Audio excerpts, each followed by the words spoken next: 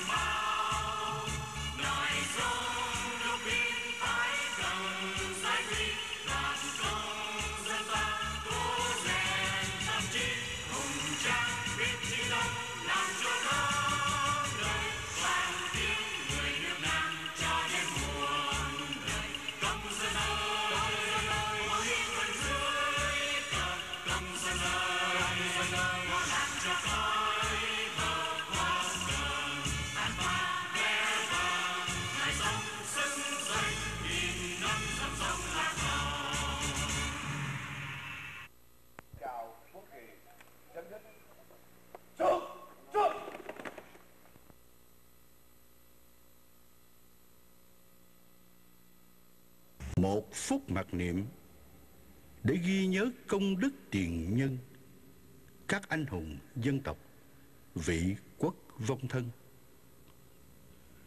Phút mặc niệm để tưởng nhớ đến đồng bào và chiến sĩ đã hy sinh trong công cuộc chiến đấu bảo vệ tự do. Phút mặc niệm bắt đầu.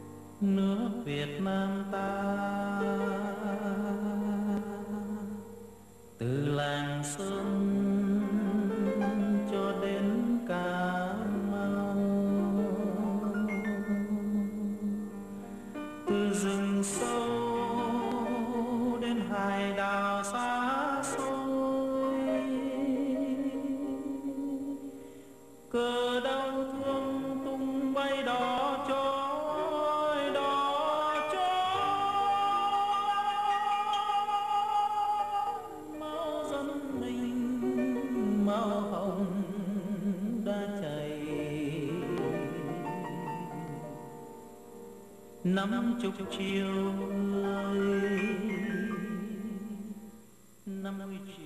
Đã là người Việt Nam, được sinh ra trên đất nước Việt Nam và được làm con của một giống dân lạc Việt thì cái vinh dự to lớn nhất của họ là được sống và được chết ngay trên quê hương nơi mà họ đã từ đó sinh ra trong chiếc nôi êm ái của loài người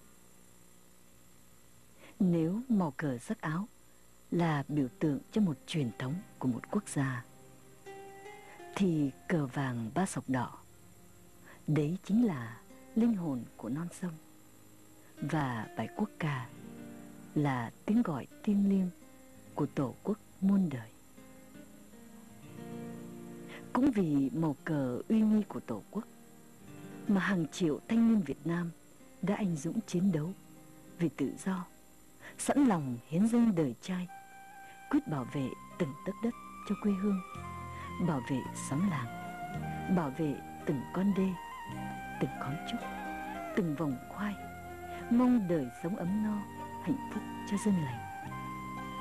Hình ảnh trên đây đã làm cho ta nhớ đến những người chiến sĩ năm xưa cũng hào hùng oai nghi trong bộ quân phục núi rừng xin hãy dành một đôi phút ngược dòng thời gian, chúng ta quay trở về quá khứ. Mà trong đó, có mệnh hệ của một quốc gia đã từng gói kém cho con người bằng khổ đau và hạnh phúc. Hạnh phúc, quả đó là niềm mơ ước, dường như chưa bao giờ có được trên một đất nước nhỏ bé và nghèo nàn, nhưng lại triền miên chiến tranh và khổ đau nước việt nam chỉ còn là một bản đồ nát tan bởi sự tranh giành sâu xé từ các thế lực ngoại bang mà chính người dân Việt Nam đã phải hứng chịu những trăm đắng nghìn cay do sự phân chia và bội phạt. Đó là những tháng năm đầy máu lửa. Chiến tranh đã đến, bom đạn đã về.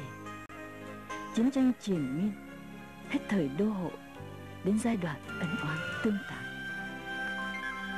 Dòng sông Bến Hải, chiếc cầu hiền lương đã trở thành cái mốc làm ngăn đôi tấm lòng của những đứa con cùng mẹ. Cùng mẹ Việt Nam nhưng bên này bờ là vùng đất quốc gia. Nhìn sang bên kia là nơi xuất thân của những con người Việt Nam đi lầm đường lạc lối. Cùng mẹ Việt Nam nhưng không cùng một lý tưởng. Người gìn giữ nước nhà, kẻ dệt xéo quê hương. Thế nhưng, trong bối cảnh chiến tranh, lòng bao dung của những người chiến sĩ vẫn là cái nghĩa cử cao thượng được đem ra cư xử với chính kẻ thù địch trong tay mình. Vì đó là những người cùng da vàng máu đỏ. Ngược lại hãy nhìn đi. Những khuôn mặt bắc bộ phủ đang mỉm cười trên những xác người vô tội. Họ đang say sưa với tham vọng cuồng điên tiến chiến miền nam cây khổ đau và oán hận. Giữa những ngày cuồng bạo nhất của tháng tư, những người lính vẫn hiên ngang xả thân trên từng đường tên mũi đạn có cái chết oai hùng nào bằng cái chết cho quê hương họ xem đó là những giây phút nghiêm trọng nhất để quyết định vận mệnh đối với một quốc gia và sự sống còn của quê hương chính là giây phút đó I will hold Long Khan. I will knock them down here, even to bring here two division or three division. cái kiêu hãnh của một vị tướng quân là như thế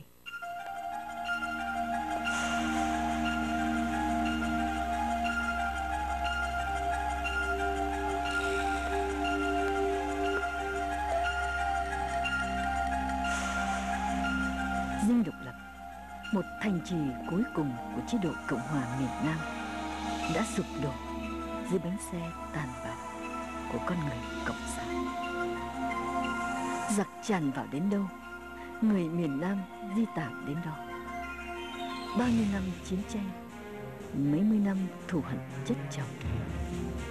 Sau cuộc chiến, người ta còn lại gì? Ngoài hai bàn tay trống không, nước mất nhà tan họ đành gạt lệ ra đi trên những chuyến bay di tản hay trên những ngọn sóng miệt mài.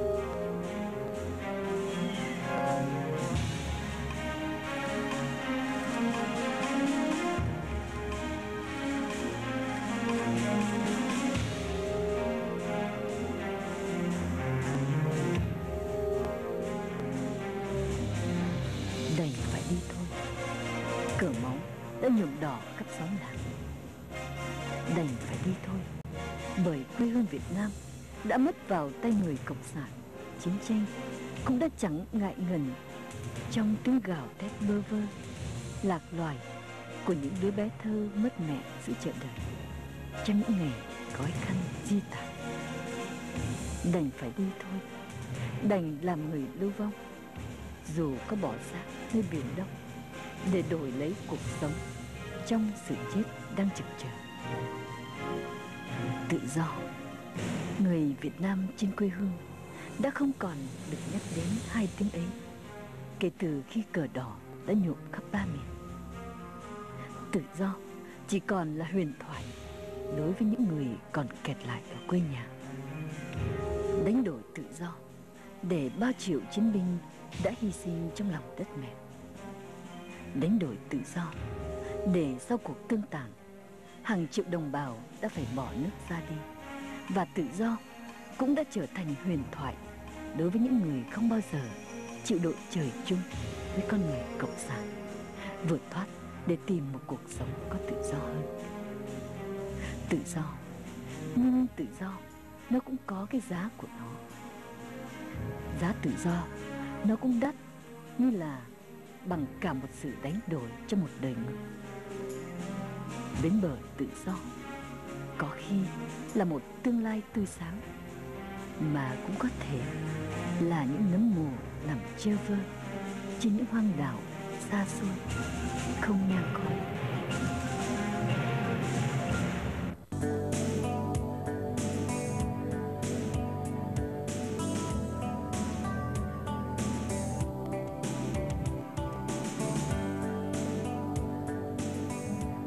nhưng cho dù chân dung của tự do có thế nào đi nữa thì các cuộc vượt thoát mảy may nào đó đã đem lại yên vui cho thuyền nhân trong vùng đất tạm dung, nơi xứ lạ quê người. Người việt nam từ đó đã có mặt trên khắp năm châu bốn bể.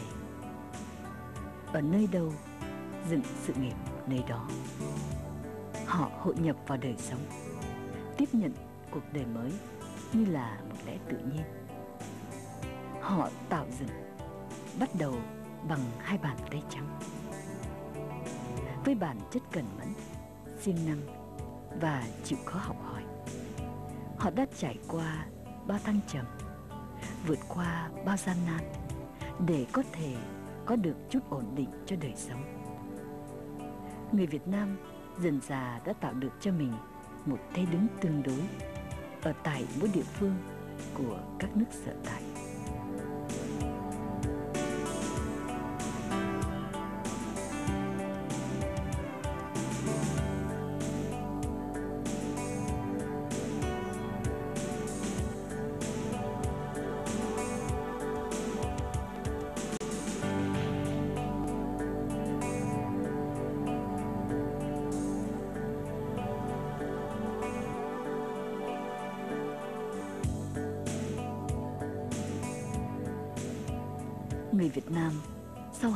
Thập niên lưu vong trên đất khách. Nay đã có thể ngước mặt, đã có thể tự hào về sự thành công, sự nghiệp của con cháu tương lai. Tự hào hơn nữa là người Việt Nam luôn giữ cho mình lối truyền thống cha ông và truyền dạy cho con cháu không bao giờ được quên đi nguồn gốc. Văn hóa dân tộc như thế mà đã không bị mất đi. Văn hóa nó như một chất keo sơn, làm gắn bó con người lại với nhau. Gắn bó nhau để đem lại cho nhau niềm tin và hy vọng. Niềm tin là ở những tấm lòng yêu nước, những tấm lòng còn nghĩ đến quê hương. Xã hội có khác nhau, nhưng tính chất thì vẫn thế. Vẫn hoài vọng về một nơi chốn nhau cắt rốn xa xưa nghĩ đến quê hương là nghĩ đến bao triệu người Việt Nam còn kẹt lại ở quê nhà. Đời sống phồn hoa nơi đây đã chẳng làm cho người ta quên được những vết thương khổ đau của tháng tư năm đó đã xa vời. Xa nhưng không bao giờ quên được. Không quên được đất nước tan hoang, không quên mình là người Việt da vàng. Và chắc hẳn họ sẽ chẳng bao giờ ngưng nghỉ trong đấu tranh. Quên làm sao? Khi trong nước, đồng bào việt nam ta đang khốn khổ từng ngày. Làm sao quên khi mỗi tối bưng chén cơm đầy mà nghẹn ngào nghĩ đến sự nghèo đói của người thân đang khát khao từng hộp cơm manh áo? Đang khát khao vì thiếu tự do, thiếu cả niềm ước mơ, chưa bao giờ đến cho mọi người.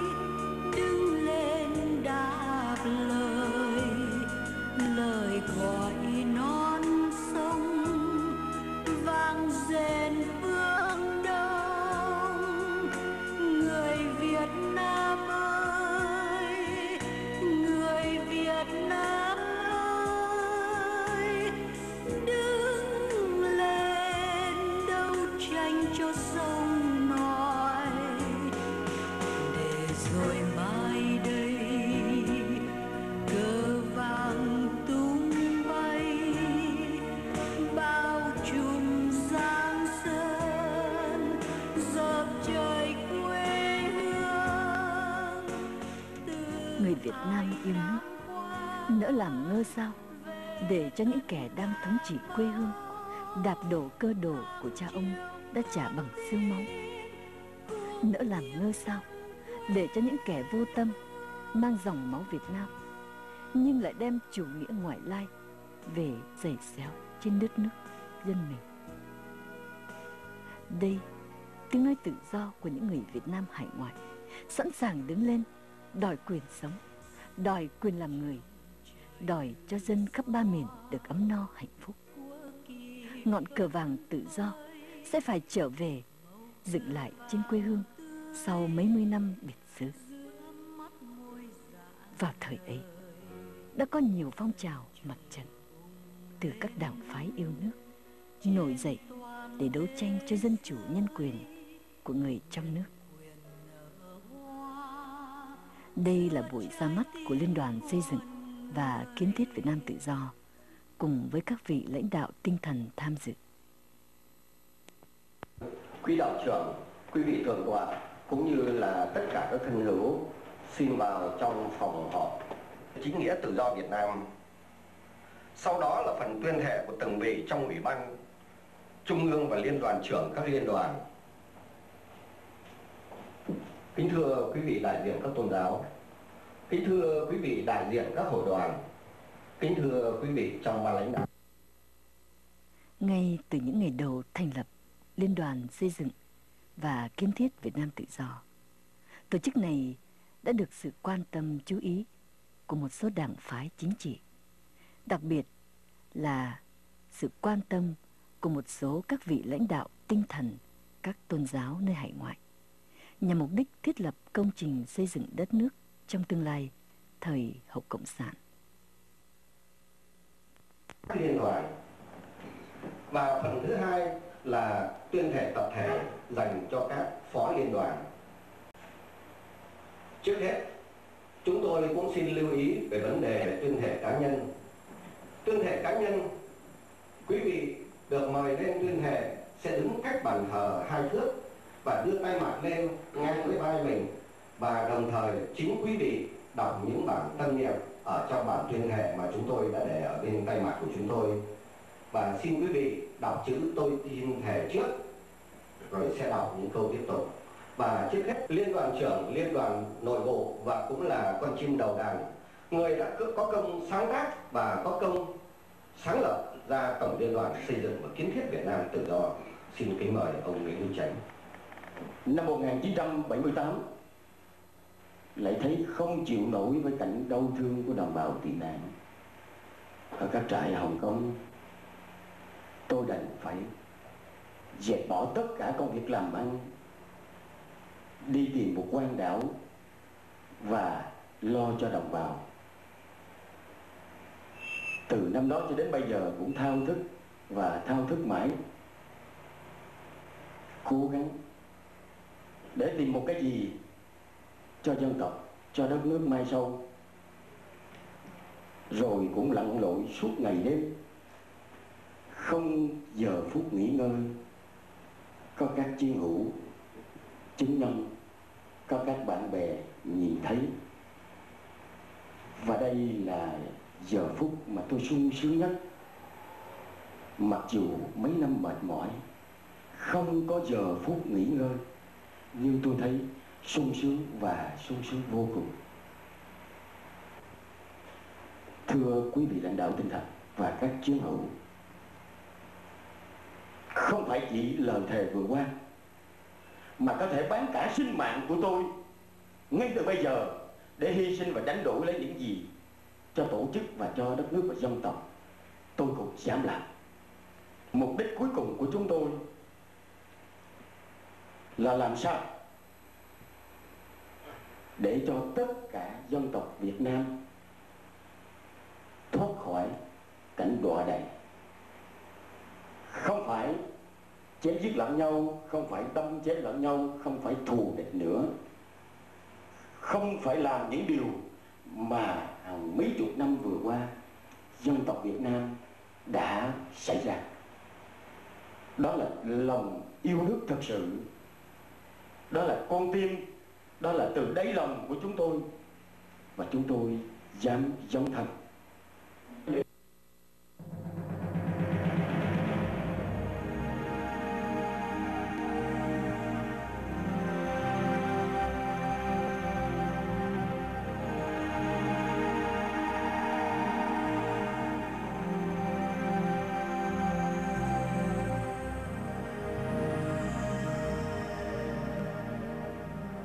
trên tinh thần đoàn kết và hiệp lực để xây dựng cho những tổ chức yêu nước được vững mạnh.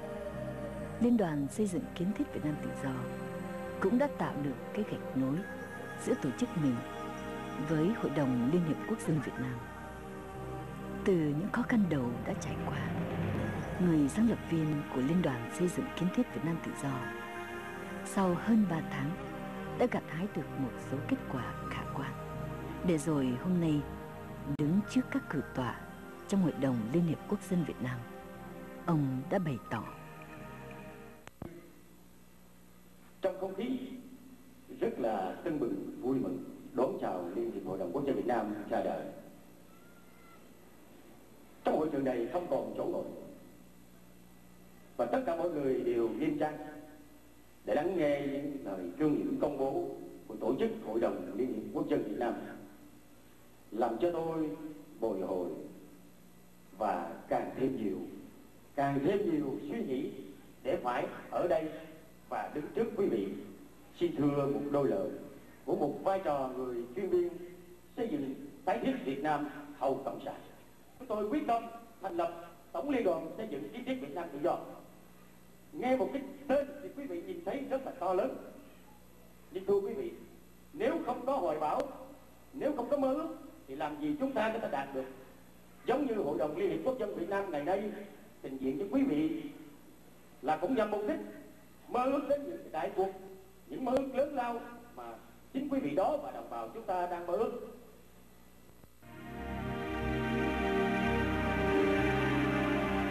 Con đường xây dựng và kiến thiết Việt Nam tự do hậu cộng sản hẳn sẽ là một con đường dài đăng đẳng. Cho dù chúng ta rất nóng lòng muốn rút cho thật ngắn con đường về. Vào năm 1991, người thanh niên này đã tìm cách để trở về nước, đã xâm nhập vào quốc nội dưới dạng thức của một tổ chức nhân đạo Bravo, rồi Vina Auto và bằng nhiều hình thức khác như Tổng Liên đoàn Xây dựng Kiến thiết Quốc gia để dễ dàng bí mật hoạt động trong nước. Tại hội trường Hà Nội, trước mặt các đảng viên cao cấp Bắc Bộ Phủ, ông nói đối với nước Việt Nam về với đất nước không phải là vấn đề nhân đạo mà tôi phải có bổn phận với 70 triệu bà con và nước Việt Nam của chúng ta 18 năm, 20 năm đi được để về xây dựng đất nước của chúng ta. Tôi không đủ tài như họ đâu. Nhưng tôi đủ tài để mà ráp nói họ mà họ làm không được như tôi.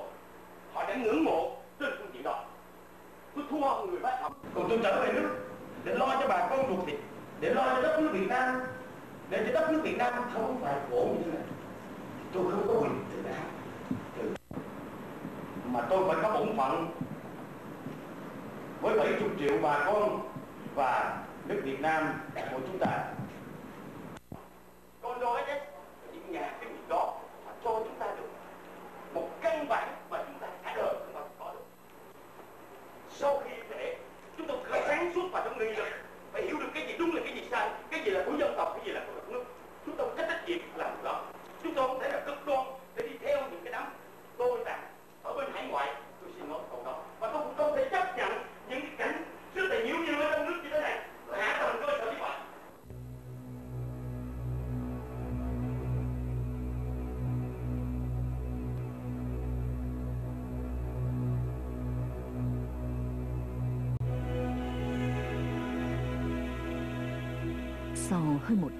việc và hoạt động ngấm ngầm trong quốc nội, Thần thế ông đã bị lộ diện.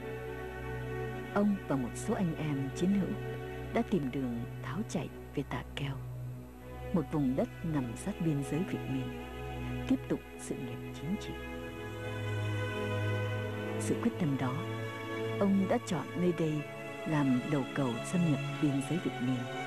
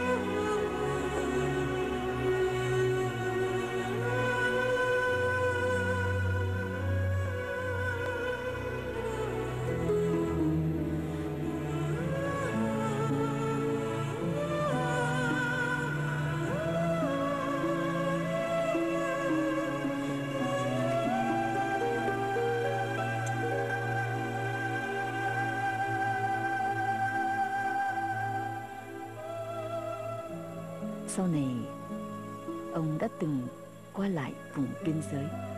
Ông đã từng đứng bên này vùng đất, trầm ngâm nhìn sang quê hương, bồi hồi với những toàn tính cho những đoạn đường về. Quê hương còn đó, nhưng làm sao để trở về? Ông đứng lặng lẽ, ngậm ngùi giấy trong lòng những nỗi đau thầm lặng,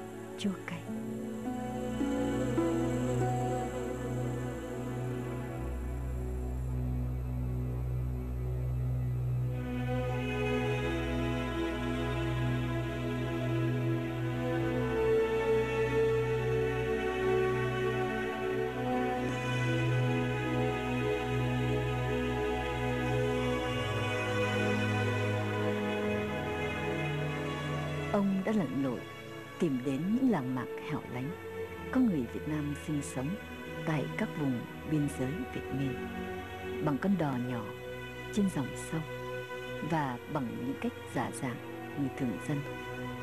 Ông kín đáo tiếp tục với một số đồng bào Việt Nam về việc trao đổi những tín hiệu hoạt động của tổ chức.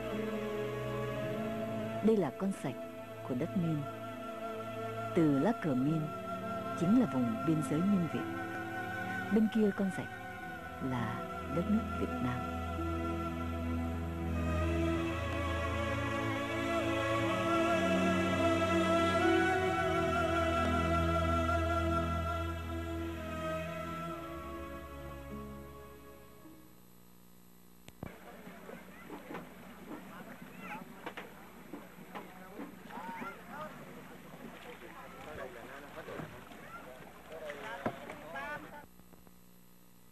Trong khi tại Sồi Riêng, thuộc vùng biên giới sát Tây Ninh và Campuchia, những hoạt động bí mật lại được tiếp nối với những công trình mới. Đây là những người thuộc quân đội Miên. Đi đến đâu đều có những người chiến sĩ Miên đón đưa và bảo vệ, cũng như giúp đỡ cho ông qua những bước đi lạ lẫm của xứ người.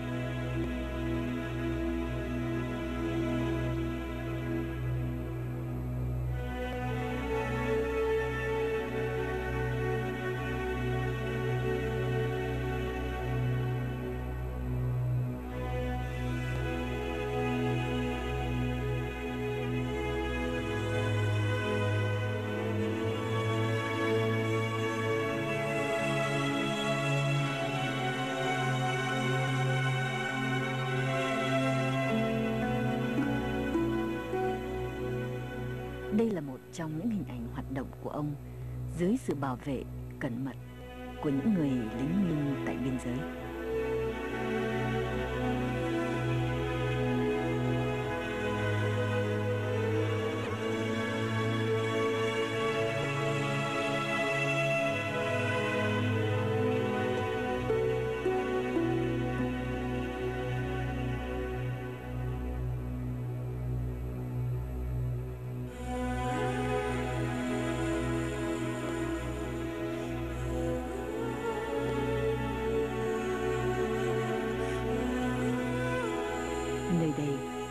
Đã móc nối được một số người Việt yêu nước từ trong quốc nội.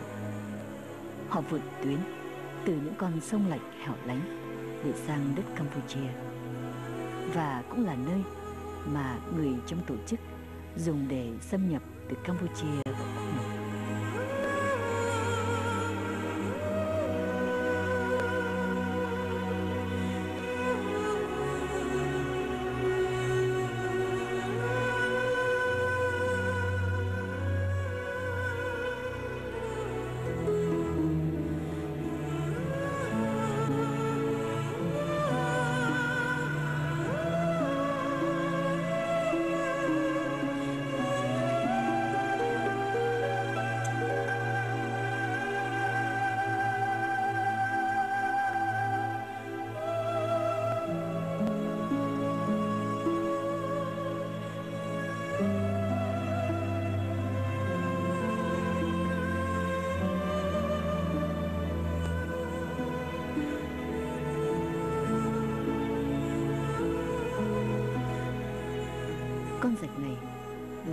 nơi phân đôi giữa hai nước. Họ đi dọc theo biên giới, qua những xóm làng hoang vắng bên bờ sông. Con đò này họ đã dùng để đưa người từ quốc nội sang đất Campuchia. Tại đây, ông đã tổ chức những tiền trạm cho người quốc nội hoạt động dưới nhiều hình thức hợp pháp để bảo bọc cho người trong quốc nội.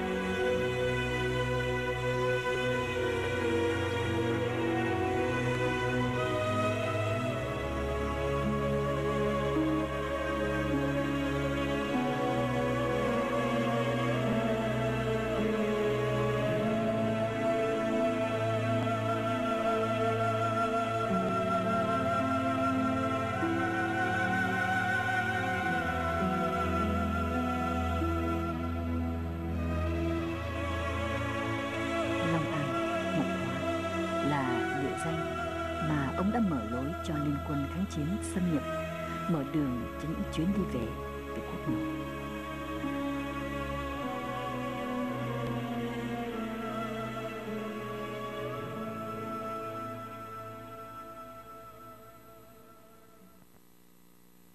Chiến dịch Bravo cũng là một trong nhiều hình thức công khai cũng như bí mật của tổ chức xây dựng dọc theo biên giới.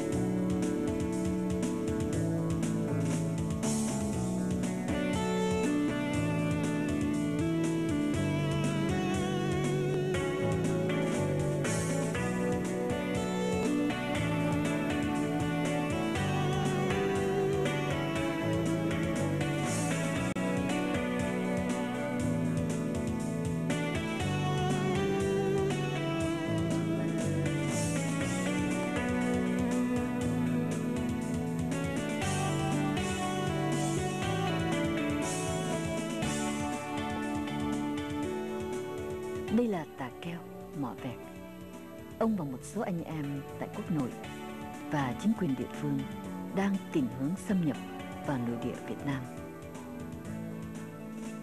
Sau khi chuẩn bị chu tất và ra mắt ngày thành lập liên quân kháng chiến Đông Dương, ông trở ra hải ngoại để chuẩn bị nhân sự cho việc thành lập chính phủ cách mạng Việt Nam tự do.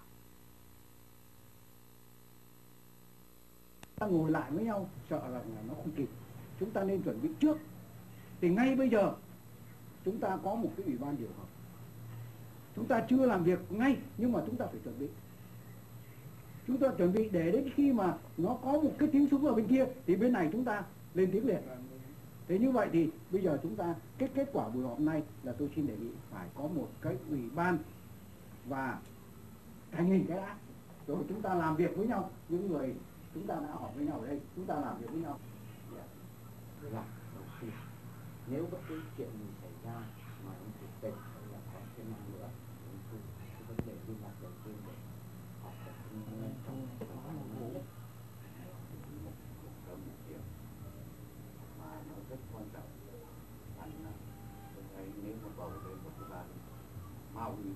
một vài người đã đi Campuchia thấy với rồi. Thì không nói. Nhưng mà chính các anh thôi. Mình phải nói bằng sự thật. Sự tin tưởng nó chỉ ở góc độ. Chính anh em của chúng ta bởi vì chưa bao giờ biết Campuchia nó là cái gì cả chứ.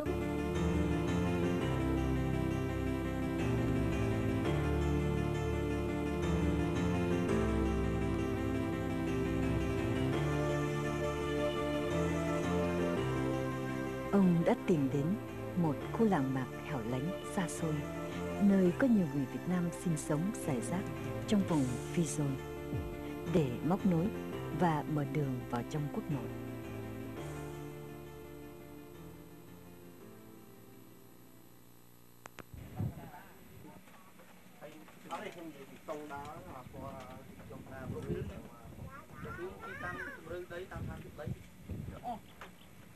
យើងគាត់ខ្វះថាបច្ចេកទេសណែនាំធ្វើប៉ុណ្ណឹងទេគាត់ឥឡូវណាមកណាមកណា con hỏi là tài liệu có hết rồi cho đi Ừ. Cái tài liệu thì về- បាងវងត្រង់កៃហ្នឹងក៏ក៏ Tài liệu đó Bộ Nông nghiệp ờ, có giữ mà គួរtrường Long Đình trường nông nghiệp Long Đình Nhưng mà à, à, hiện giờ tài liệu nằm ở đâu? nằm ở Việt Nam và thời riêng mình cũng có មានឡងអាវមិនប្រហែលយកអ អ ត់ ត់ទេយើងមានម្ដងហើយប៉ុន្តែទីខេត្តប្រមូលការលើកមុនហ្នឹងប្រមូលទៅក្នុងទីខេត្តមួយ đây đây đây cái đây nó đi đấy Từ đây đi đi à? vâng đây đi này chục cây số thế. Hiện giờ là đất đen đây đúng rồi. Bon bon à chu à, chu là bắp nhưng mà hôm nay giờ bán chu phố chu ờ. phố giờ lại năm đúng cái lấy năm liên đấy. Ờ.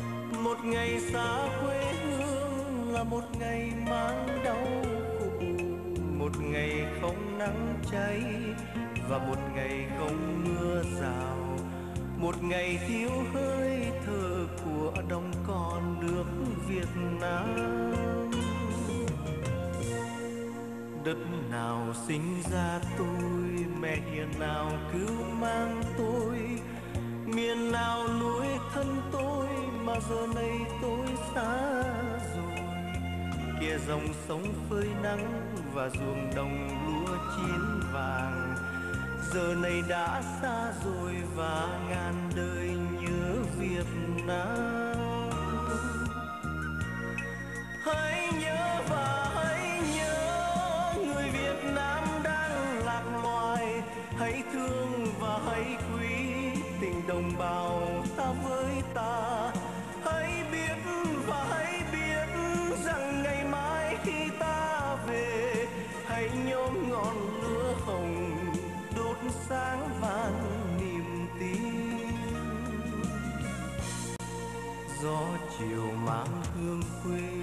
lòng giật mình trong cơn mê.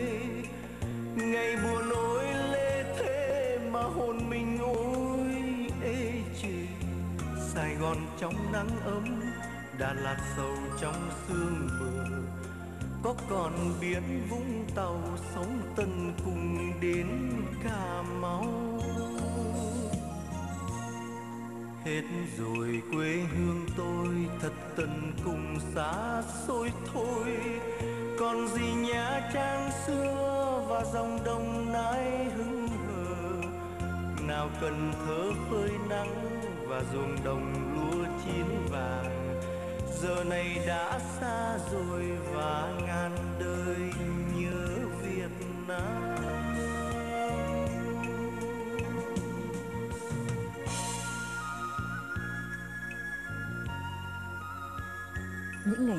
Đây, ông đã đi hàng trăm cây số dọc biên giới Việt Minh để tìm cho ra những nơi nào thuận tiện nhất cho việc xâm nhập với nhiều đầu cầu, với nhiều ngõ ngách khác nhau.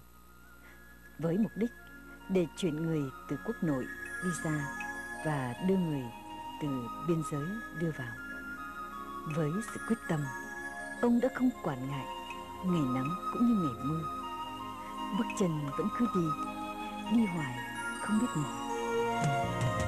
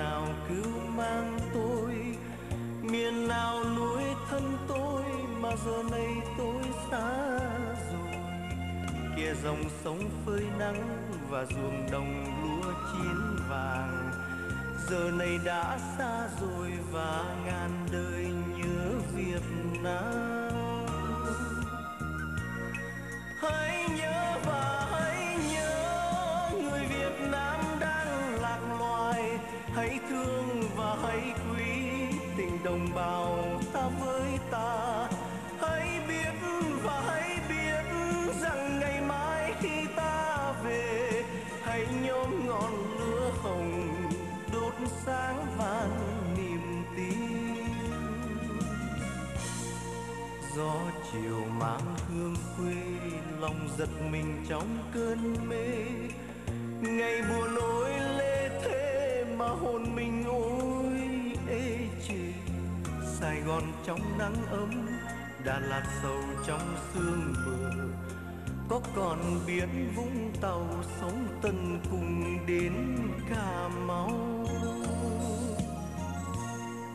Hết rồi quê hương tôi thật tận cùng xa xôi thôi còn gì nhà trang xưa và dòng đồng nai hững hờ. Nào cần thơ phơi nắng và ruộng đồng lúa chín vàng. Giờ này đã xa rồi và ngàn đời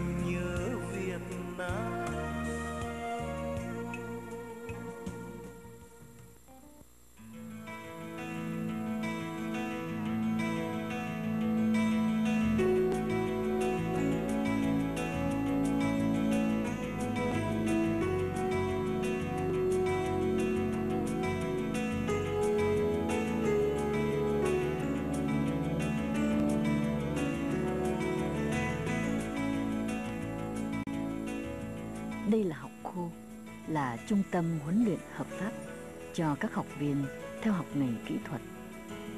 Ngôi trường này là nơi đào tạo các ngành nghề cho người Việt Nam và cũng là nơi mà tổ chức đã dùng để thực hiện những mục tiêu của tổ chức.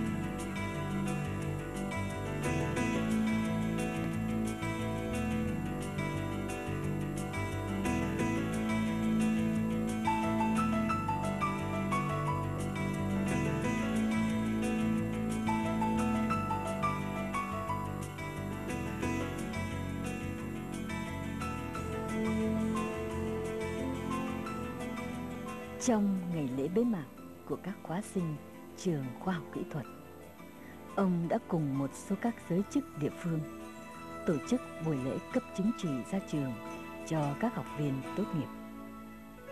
Cũng trong buổi lễ mãn khóa này, ông đã bày tỏ nỗi vui mừng về sự thành công của các học viên dưới ngôi trường do chính ông đã thực hiện. Ông nói,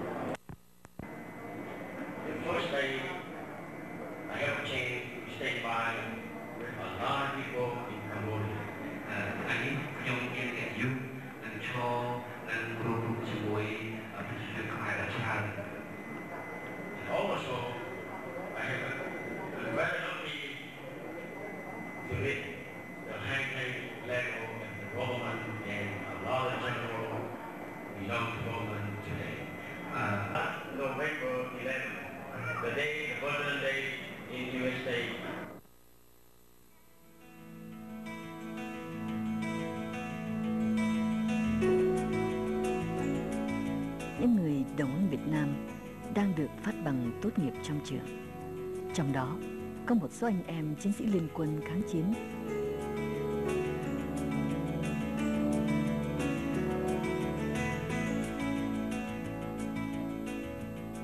Vào tháng 4 năm 1995, tổ chức Liên quân kháng chiến Đông Dương đã chính thức thành lập chính phủ với danh xưng là Chính phủ Cách mạng Việt Nam Tự Do và người thanh niên yêu nước đó đã đảm trách nhiệm vụ là Tổng Thư ký Hội đồng Điều hợp Trung ương Chính phủ Cách mạng Việt Nam Tự Do. Từ trong quốc nội với sự tham gia của một số các tướng lãnh tại hải ngoại. Cuối tháng 12 năm 1995, năm thành viên người Mỹ gốc Việt của Chính phủ Cách mạng Việt Nam Tự Do bị trục xuất khỏi Campuchia do áp lực của Cộng sản Việt Nam. Tháng 2 1996, chiến sĩ Lý Tara, Lý Ngọc và một số thành viên khác bị Cộng sản Việt Nam vượt biên giới, bắt cóc, đem về Việt Nam hành xử.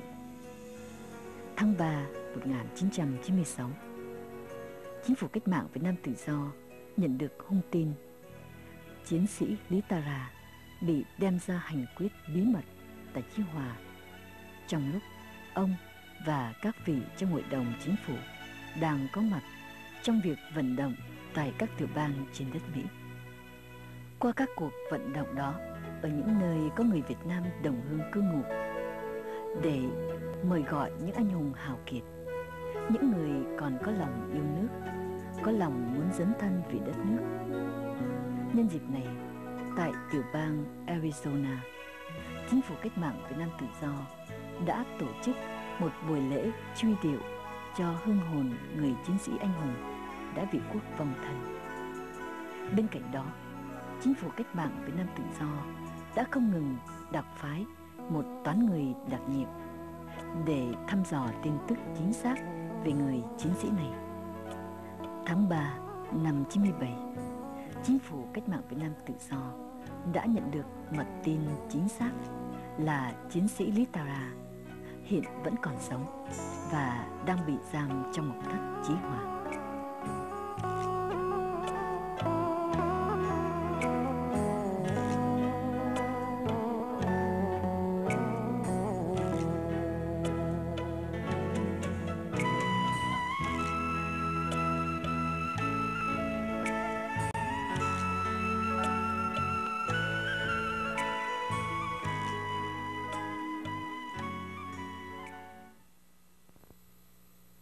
Sau khi bị lộ, ông đã đưa các anh em chiến sĩ liên quân về biên giới Thái Miên. Đồng thời, ông cũng rời luôn các lớp huấn luyện về vùng biên giới.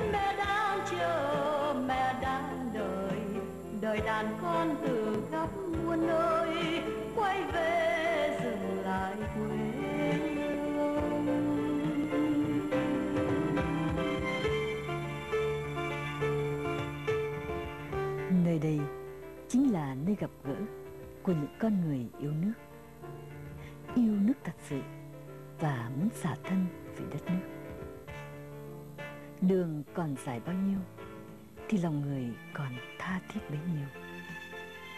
Cũng vì còn nặng lòng với quê hương, Người thanh niên hải ngoại đã không ngần ngại Từ bỏ chốn phồn hoa, Từ giã mái ấm và những tiện nghi nơi xứ lạ quê người sẵn sàng ghé vai, gánh lấy bổn phận bổn phận của một người thanh niên vì quê hương đang còn trong tăm tối những người thanh niên ấy sẵn sàng trở về đây để cùng với người trong quốc nội nối vòng tay lật đổ một chế độ mà đã hơn 20 năm Cộng sản Việt Nam đã gây bao đau thương và đói khổ. Việt Nam đã hòa bình chưa? Mà sao hơn hai thập niên qua, những con người Việt Nam đã bỏ xứ ra đi để tìm đường cứu nước. Đối với họ, hòa bình chỉ là một giai đoạn ngưng nghỉ tạm thời để chuẩn bị cho một cuộc chiến mới. Và từ trong lòng mỗi người dân, họ đều hiểu chiến tranh chưa hết. Chiến tranh chưa bao giờ hết.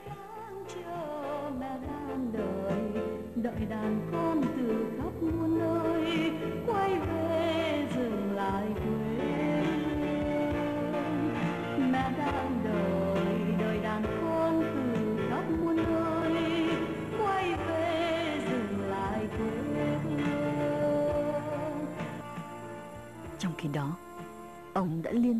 không ngừng với những chuyến bay hải ngoại và quốc nội.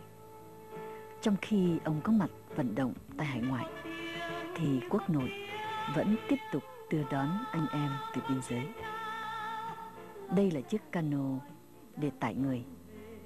về quê hương trên mọi nẻo đường vượt đại dương vượt trường sơn băng qua đường biên giới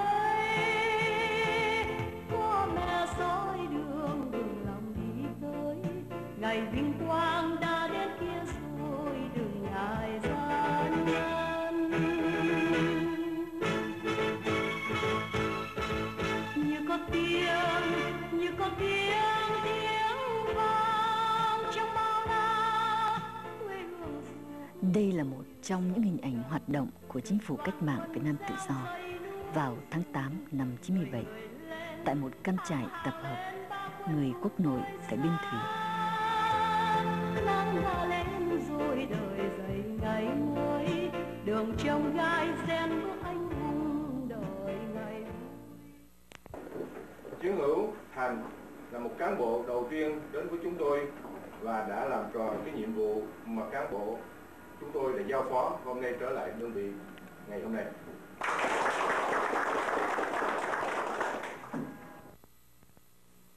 Nơi hải ngoại, những chuyến đi của chính phủ cách mạng Việt Nam tự do vẫn tiếp tục thực hiện tại các hội đồng đại biểu. Đây là một trong những hoạt động của chính phủ tại Seattle. Một cánh tay đưa lên, hàng ngàn cánh tay đưa lên, hàng ba cái tay đưa lên, quyết đấu tranh cho một nền hòa bình công chính, đập phá tan mêu toan, đầu hàng cái quân xâm lăng, hòa bình phải trong vinh quang, đèn công lao máu sự hùng anh, nhau đứng lên bên nhau và cùng sát vai bên nhau. Thề nguyện quyết vung tay cao quyết đấu tranh đến khi nào đạt thành mong ước. Phần nước trong tay ta là quyền của quân dân ta đoàn kết quê hương ta tràn năm mưu như thắp lên dân hà. Quyết chiến hệ quyết chiến quyết chiến, quyết không cần hòa bình đến tôi, trăng liên hiệp ngồi chung quân bao nước không nổi.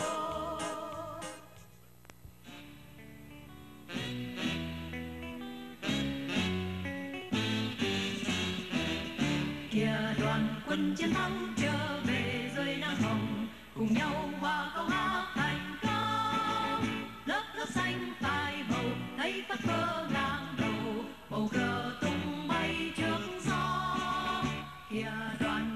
đoàn quân chiến thắng trở về với xóm làng thành công còn ghi nơi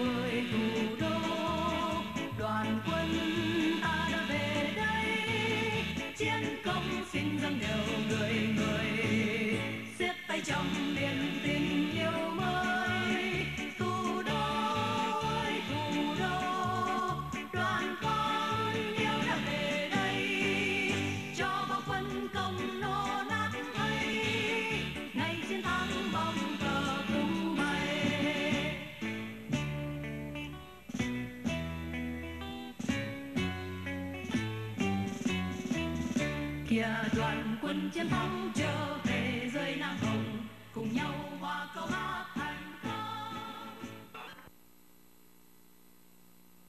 Vào ngày 26 tháng 10 năm 1996, tại vùng Tây Bắc Hoa Kỳ, đại biểu chính phủ cách mạng Việt Nam Tự Do, tiểu bang Washington State, thành phố Seattle đã tổ chức một buổi nói chuyện của chính phủ cách mạng Việt Nam Tự Do với người Việt Nam đồng hương.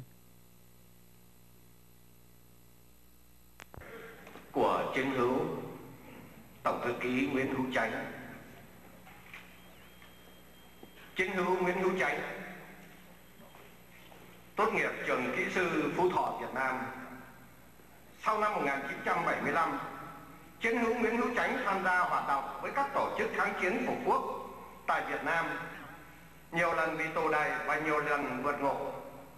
Chiến hữu Nguyễn Hữu Chánh đã trở thành lãnh đạo lực lượng chống cộng sản ngay từ lúc còn trong nội địa. Chiến hữu tránh đã vượt biên sang Phi Luật Tân năm 1983. Tiếp tục tham gia mặt trận quốc gia thống nhất giải phóng Việt Nam do tướng Hoàng Cơ Minh lãnh đạo. Chiến hữu và gia đình đã đến định cư tại Hoa Kỳ năm 1984. Chiến hữu đã sáng lập và lãnh đạo Tổng liên đoàn xây dựng kiến thiết Việt Nam tự do. Chiến hữu đã kết hợp 17 lực lượng đảng phái chính trị, lập ra Hội đồng Quốc dân Việt Nam và chiến hữu đã dẫn đầu một phái đoàn nhân đạo xâm nhập nội địa Việt Nam năm 1990 trong chương trình Pao và Mia. Sau 3 năm hoạt động tại quốc nội thì bị phát hiện và tình nghi là có kế hoạch lật đổ chế độ. Năm 1993, chiến hữu Nguyễn Hữu Chánh và một số chiến hữu khác đã di chuyển về Campuchia thành lập lực lượng Liên quân kháng chiến Đông Dương và cho đến năm 1995, chiến hữu Nguyễn Hữu Chánh và chiến hữu Nguyễn Hoàng Dân đã đứng ra thành lập chính phủ cách mạng Việt Nam tự do. Và bây giờ chúng tôi trân trọng kính mời chiến hữu tổng thư ký. Kính thưa chiến hữu Đỗ Thành Trung đại biểu hội đồng đại biểu tiểu bang Washington State và ban tổ chức đã cho chúng tôi có dịp nói chuyện với đồng bào tại tiểu bang Washington này. Kính thưa quý vị lãnh đạo tinh thần, kính thưa quý vị trong các tổ chức đảng phái chính trị, các cơ quan truyền thông báo chí, kính thưa tất cả quý vị và nhất là phái đoàn chính phủ cách mạng Việt Nam tự do, hội đồng cố vấn chỉ đạo. Ngày hôm nay Chúng tôi về đây sau chuyến công tác năm tiểu bang miền Đông Bắc Hoa Kỳ, Washington DC, New York, Boston, Philadelphia và New Jersey. Sau khi chúng tôi gặp gỡ quý vị ở đây, chúng tôi sẽ tiếp tục đến Houston, Florida và sau đó chúng tôi trở về Đông Nam Á. Trong buổi nói chuyện ngày hôm nay, có lẽ chúng tôi cũng không diễn đạt bằng bài diễn văn bởi vì tôi thiết nghĩ buổi nói chuyện này đã được nhiều ưu tư của quý vị ở tại cộng đồng này. Sau khi chính phủ cách mạng Việt Nam tự do, có những biến cố xảy ra tại Campuchia và ở tại quốc nội. Mà tôi là người mắt thấy tai nghe cũng như đã ở đó chứng kiến các cái dữ kiện, các cái sự kiện đã xảy ra.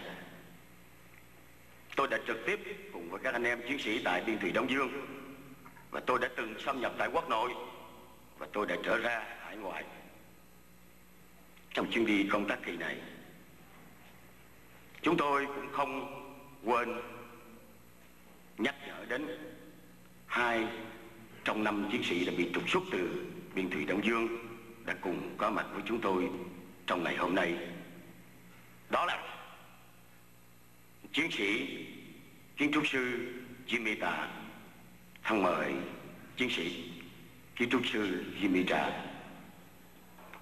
và chiến sĩ Cao Hùng, chiến sĩ bình thường nhảy dù, hai chiến sĩ đã bị trục xuất trong đợt tại Campuchia thời gian vừa qua.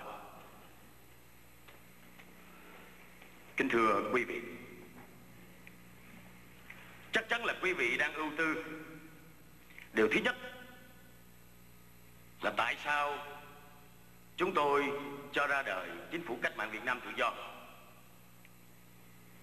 Và tại sao lực lượng của anh em chiến sĩ tại biên thủy Đông Dương đã bị trục xuất, bị bắt cóc, đưa về xử tử tại Việt Nam? Thưa quý vị, trước khi chính phủ cách mạng Việt Nam tự do ra đời thì chúng tôi đã từng vận động để thành lập một hội đồng Liên hiệp Quốc dân Việt Nam. Trong đó có bác sĩ Nguyễn Tôn Hoàng, lãnh tụ đảng Đại Việt Việt Nam Quốc dân đảng, Liên minh toàn dân của Trần Văn Lắm anh Hoàng Việt Cương, Liên đảng Cách mạng Việt Nam và rất nhiều đảng phái. Và tôi cũng mơ ước thành lập cho bằng được một cái hội đồng quốc dân để rồi phải tiến đến một chính phủ cách mạng cái mô hình đó nó sẽ được dung hòa và được vui vẻ đối với các đảng phái khi chúng ta tham dự và nhập cuộc. Thế rồi, năm 1991, Liên hiệp Hội đồng Quốc dân Việt Nam ra đời tại Santa Ana. Tôi là người đứng tổ chức từ đầu đến cuối. Cuối cùng cũng vẫn không thành và không tiến đến được một cái chính phủ cách mạng. Những vấn đề tế nhị bên trong của những vị lãnh đạo tôi xin được phép không có thể trình bày ở đây. Sau đó, chúng tôi dẫn đoàn quân xâm nhập vào quốc nội Việt Nam và chính tôi đã nằm ở Hà Nội gần một năm, Đà Nẵng, Nha Trang, Sài Gòn và miền Tây. Dưới một chương trình nhân đạo của Hoa Kỳ. Tôi cùng phái đoàn của Hoa Kỳ về Việt Nam là để tạo dựng cơ sở xây dựng lại hạ tầng. Đội ngũ hóa một số anh em chiến sĩ mà ngày xưa chúng tôi đã hứa hẹn là ra đi là phải trở lại sau 3 năm hoạt động, quả thật, chúng tôi đã xây dựng được một nền tảng vững chắc ở tại quốc nội cho đến bây giờ. Đến năm 1993 chúng tôi bị bại lộ. Chiến sĩ kiến trúc sư Jimmy Tạ là người phụ tá cho tôi suốt thời gian ở Việt Nam, đến Campuchia và cho đến khi đến chiến sĩ bị trục xuất chúng tôi phải rút về liền và lợi dụng sau khi chính phủ Cao Miên được tổng tuyển cử tự do có dân chủ, chúng tôi đặt cơ sở đó. Đến tại nước Miên, như quý vị biết là mặc dù chính phủ Hoa Kỳ đã áp lực cho Việt Nam phải rút quân khỏi Campuchia, nhưng thực tế bên trong không phải là như vậy. Cộng sản Việt Nam đã để lại rất nhiều cơ quan tình báo số 3 Bến Bạch Đằng cơ quan tình báo của Hà Nội PA12 15 18 vân vân và Cộng sản Việt Nam đã để lại rất nhiều cán bộ làm việc với tay Thủ tướng Bồ Nhìn Hun Sen trong thời đó. Chúng tôi biết được điều đó. Nhưng thưa quý vị, trước một tình cảnh mà chúng ta lưu vong ở hải ngoại như thế này, và sau những năm tháng mà chúng tôi đã từng đấu tranh giống như các đảng phái chính trị khác ở đây, chúng tôi nhận thấy nếu chúng ta không tìm được một cái đầu cầu xâm nhập trong quốc nội thì ngày về của chúng ta rất là lâu. Đầu cầu xâm nhập đó đã tạo một sức mạnh mà cái sức mạnh nó không thể thiếu được trong cái công cuộc đấu tranh làm cách mạng đối với bọn tà quyền cộng sản việt nam từ đó chúng tôi và một số anh em chấp nhận. Can đảm để trở về campuchia. Tôi đến đó giữa một vùng trời vô cùng nguy hiểm. Sinh mạng của con người tại thủ đô Phnom Penh hầu như chỉ cần xê xích nhau trong một phút đồng hồ. Và có một số chiến sĩ sống với tôi ở Cao Miên cũng biết điều đó. Lợi dụng có tổng tuyển cử. Chúng tôi đã quan hệ được một số quý vị lãnh đạo trong khối đảng phái Phun Sinh Bách tức là của hoàng gia Campuchia. Và chúng tôi cũng xây dựng một đội ngũ giống như cơ quan tình báo cộng sản Việt Nam tại Campuchia. Có nghĩa là cộng sản Việt Nam gia nhập quân đội, gia nhập tình báo của đảng CPP tức là đảng nhân dân của Hun Sen thì chúng tôi cũng cho anh em gia nhập tình báo và quân đội với đảng Phun Sinh Bắc và Sơn San. Trong thời gian đó, với sự tinh khôn và mưu lược của một số anh em lãnh đạo tại biên thùy Đông Dương, chúng tôi đã tạo được một sức mạnh. Và sức mạnh đó đã bắt đầu lớn dần lớn dần theo năm tháng.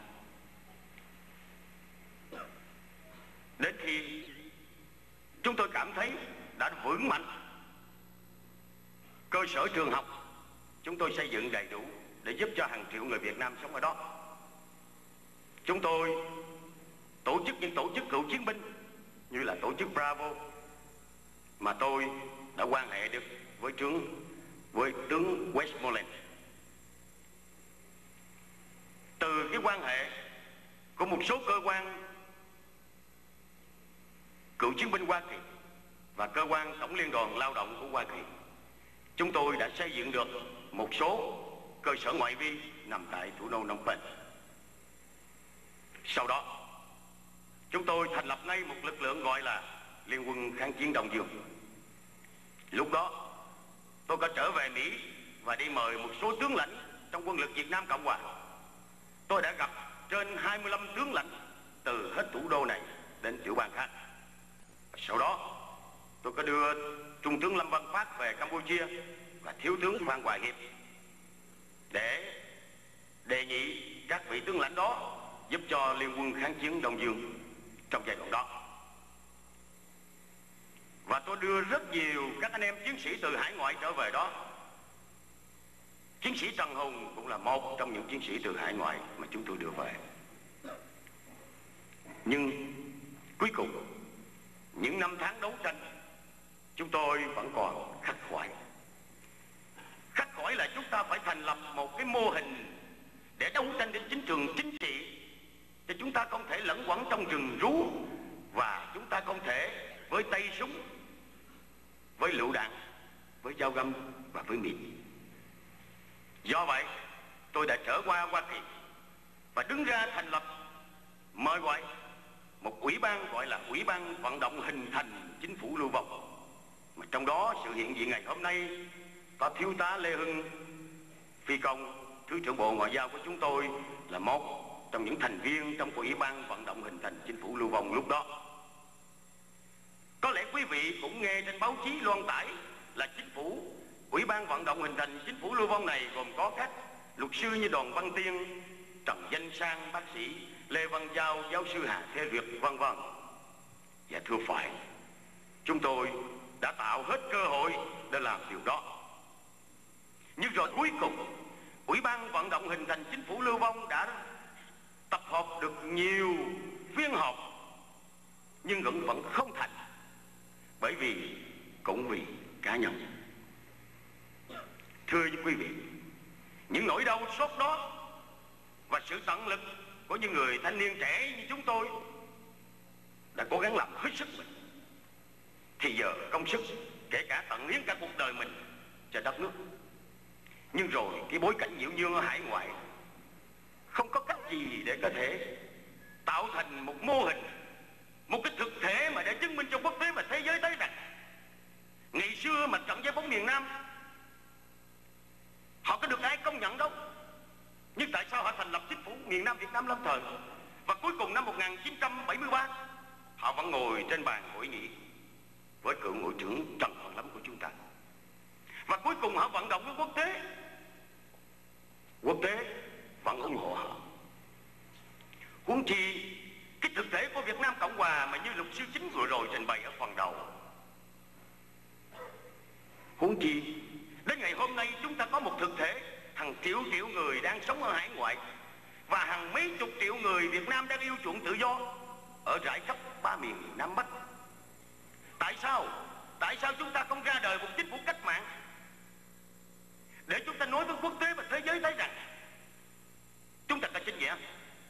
Và chính phủ cách mạng Việt Nam tự do này sẽ sẵn sàng để thay thế với chế độ cộng sản Việt Nam và chính phủ cộng sản Việt Nam. Với bất cứ lúc nào khi tình hình cho phép.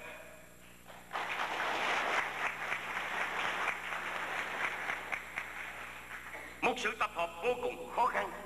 Dĩ nhiên, quý vị cũng thừa biết là trước một hoàn cảnh đau khổ như thế này chúng ta sống lưu vong, thì giờ chúng ta không có. Đời sống trói buộc cái gia đình suốt ngày 8 tiếng 10 tiếng và đôi lúc 20 tiếng. Còn cái thì giờ đâu nữa mà hoạt động còn cái thì giờ đâu nữa mà trung ương đấu cặp lại. Để rồi viết ra những cái hiến chương, hiến pháp, để viết ra những chương trình tái thiết đất nước, hậu cộng sản, vân vân. Và không có thì giờ để ngồi với nhau để bàn những việc đại cuộc, đại sự. Chẳng qua, chỉ nhận thì giờ rảnh rỗi cuối tuần. Những cái đó không đủ, thưa các quý vị. Những thì giờ đó không đủ không đủ để chúng ta tìm một lối thoát cho đất nước và dân tộc của chúng ta cho nên, những người thanh niên trẻ như chúng tôi, ý thức được trách nhiệm của mình, nối tiếp cái sự nghiệp của cha anh của chúng tôi như trung tướng linh quang viên, như giáo sư nguyễn huy đỗ đã thực hiện dở dang sau 75 và chúng tôi có cái trách nhiệm đứng lên trong giai đoạn này.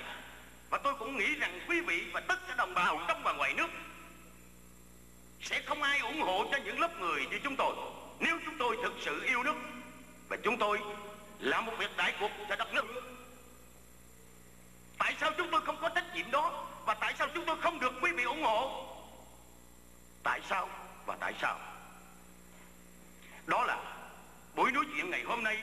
Chúng tôi muốn đến đây để thưa chuyện với quý vị và muốn đem những câu chuyện biến động từ Đông Dương cũng như một số vấn đề khác để gửi gắm đến quý vị và xin quý vị một điều.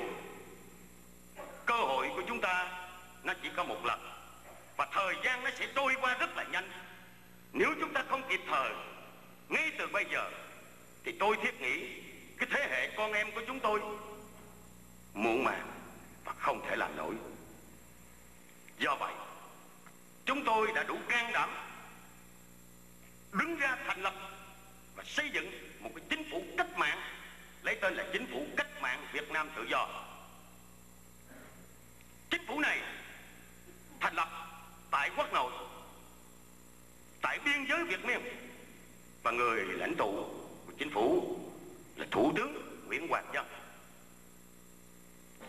thủ tướng Nguyễn Hoàng Dân ở tại quốc nội và một số anh em trong chiến sĩ ở đó.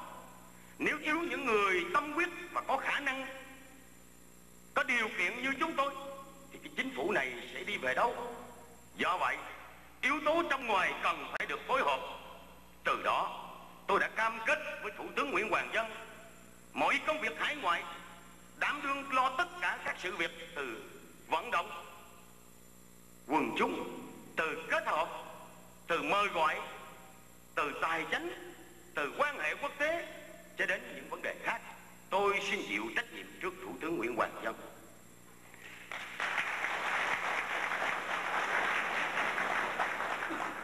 Thủ tướng nguyễn hoàng dân sẽ lo lực lượng tại quốc nội và biên thuyền đông dương.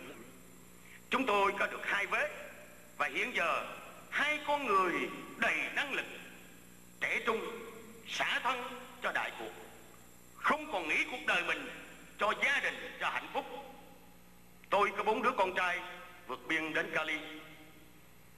Tôi có gia đình, tôi có vợ con, tôi cũng có tình cảm riêng tư của tôi. Nhưng tôi đã gắng khắc phục bởi vì tiếng gọi của quê hương và dân tộc đất nước đang còn lầm than. Những gì đóng góp từ đầu, những vấn đề đó chỉ là nhỏ nhoi cho đại đối với cá nhân cá nhân của tôi không có quan trọng gì cả.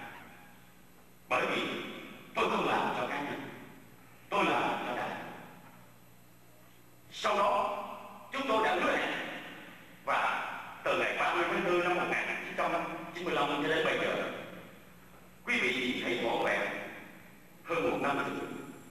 Mà chúng tôi đã xây dựng được rất nhiều hội đồng đại biểu ở khắp ủy ban kể cả Âu châu, úc châu và và Anh châu đi đến đâu được mọi người thương mến, đi đến đâu được mọi người ủng hộ trong những chuyến công tác vừa qua ngày hôm nay tôi đến đây, xin thưa quý vị, không ngoài mục đích là để mời tất cả những diễn biến ở tại đông dương của quốc nội và không ngoài mục đích là kêu gọi sự ủng hộ của quý vị.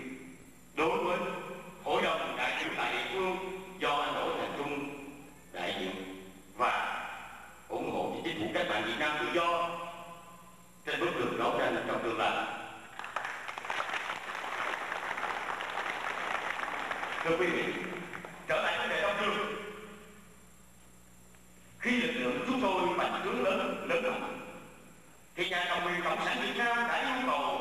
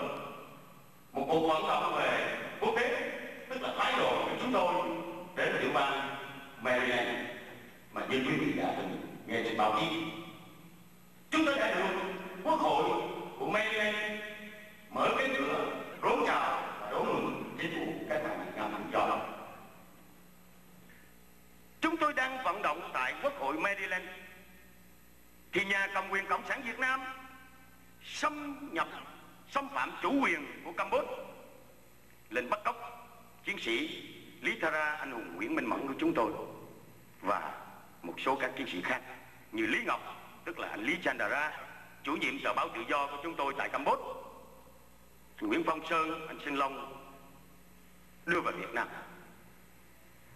Và nhà cầm quyền đã xử bắn chiến sĩ Lý Thara ngày 23 tháng 3 năm 1996. Chúng tôi đã đưa cái phái đoàn lên Tòa Đại sứ Cộng sản Việt Nam tại Hoa Thịnh Đốn đưa kháng thư cho Tòa Đại sứ Việt Cộng. Nhưng rồi cuối cùng, tên Lê Văn Bằng vẫn trốn trong căn phòng đó. Không cho người ra nhận cái kháng thư. Chúng tôi phải đưa bằng đường bưu điện. Cuối cùng, tên lê văn bằng gửi trả trở lại cho chúng tôi là bảo là sai địa chỉ trong lúc cái kháng thư đã đã mở ra rồi tôi nói như vậy không có nghĩa là chúng tôi mua mơ ước. Tòa đại sứ cộng sản việt nam nhận cái kháng thư chúng tôi rồi sẽ có một giải pháp. Nhưng mà chúng tôi trình bày ra để cho quý vị nhìn thấy rằng một cái thể chế của những con người lãnh đạo đất nước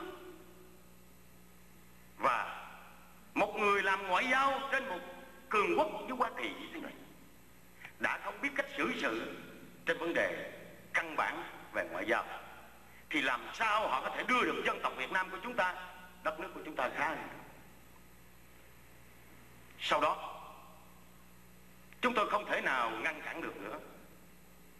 Và chúng tôi đã tố cáo trên đài phát thanh BBC phỏng vấn tôi, đài VOA và tôi đã tố giác với nhà cầm quyền cộng sản Việt Nam trên cơ quan truyền thông quốc tế. Và lời nói tôi đã chuyển đạt vào trong quốc nội.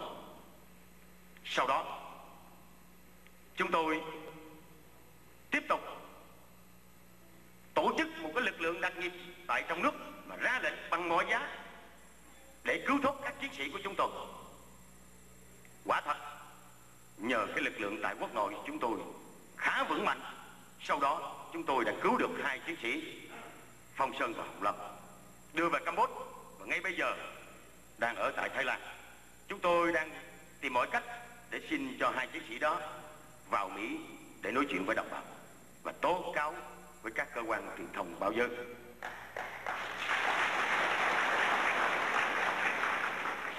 Cách đây 6 tuần, nhờ cơ quan ân xá quốc tế và các cơ quan tòa đại sứ Hoa Kỳ tại Việt Nam và tại Campuchia đã tác động và yêu cầu nhà cầm quyền cộng sản Việt Nam phải thả anh Lý Ngọc tức là anh Lý Chandra ra bởi vì anh ta là một chủ nhiệm của một tờ báo tự do được chính phủ hoàng gia Campuchia cho phép công khai nếu tờ báo đó có vi phạm, thì chỉ có chính phủ Campuchia mới có quyền đóng cửa tòa soạn và đưa ra tòa án xử phạt.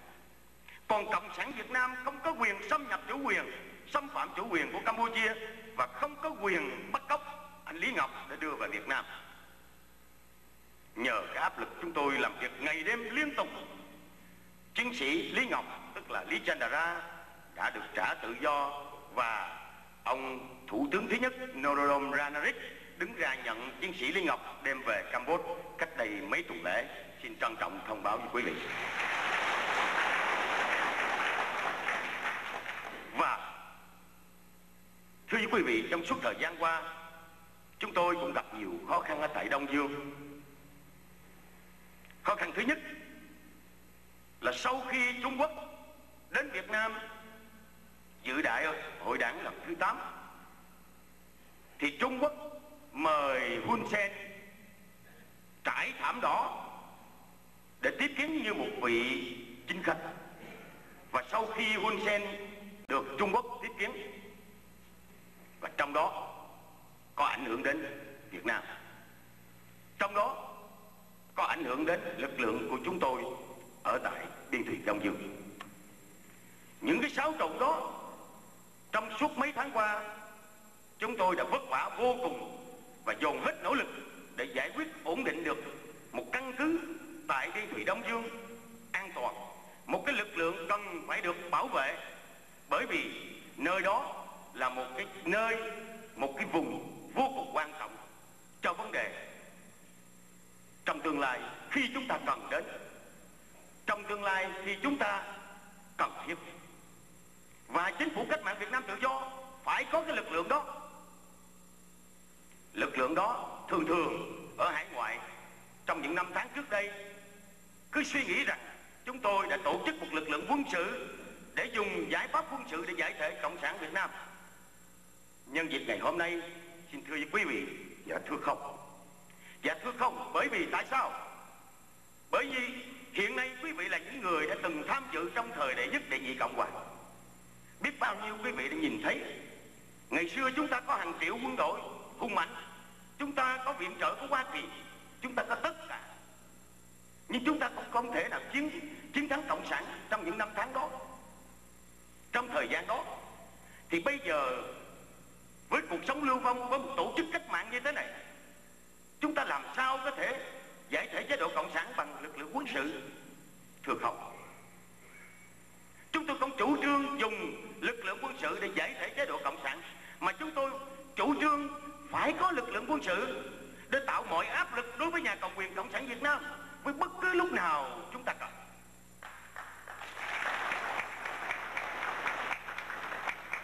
Và đã gọi là một chính phủ cách mạng, đã dùng cái danh xưng là chính phủ mà không có lực lượng quân sự, thì quả thật cái chính phủ đó không có sức mạnh. Giống như Yên Sari là một tay tội đồ diệt chủng tại sao ngày hôm nay Hun Sen và chính phủ hoàng gia ban ân xá cho ông ta? Và đến thương thảo với ông ta bởi vì ông ta có 3.000 quân nằm ở tại căn cứ Palin ở Malai. Nếu Yên Sari giờ này chỉ có năm ba chục quê thì thưa với quý vị, Yên Sari có nghĩ lý gì đâu. Một tên đã bị tử hình, đã bị xử trung thân như vậy. Chúng tôi nói như vậy là chúng ta không có diệt chủng, nhưng mà nguyên tắc cơ bản của cuộc cách mạng là chúng ta phải có một lực lượng quân sự. Điều thứ nhất, chúng ta sẵn sàng gửi lực lượng của chúng ta xâm nhập trong quốc nội, bảo vệ những đồng bào của chúng ta, bảo vệ lực lượng của chúng ta, bảo vệ tổ chức của chúng ta. Và nếu cần thiết, thì cái lực lượng quân sự của chúng ta tạo cho quốc tế và thế giới thấy rằng sức mạnh của chúng ta có tại quốc nội. Và bất cứ lúc nào chúng ta cần.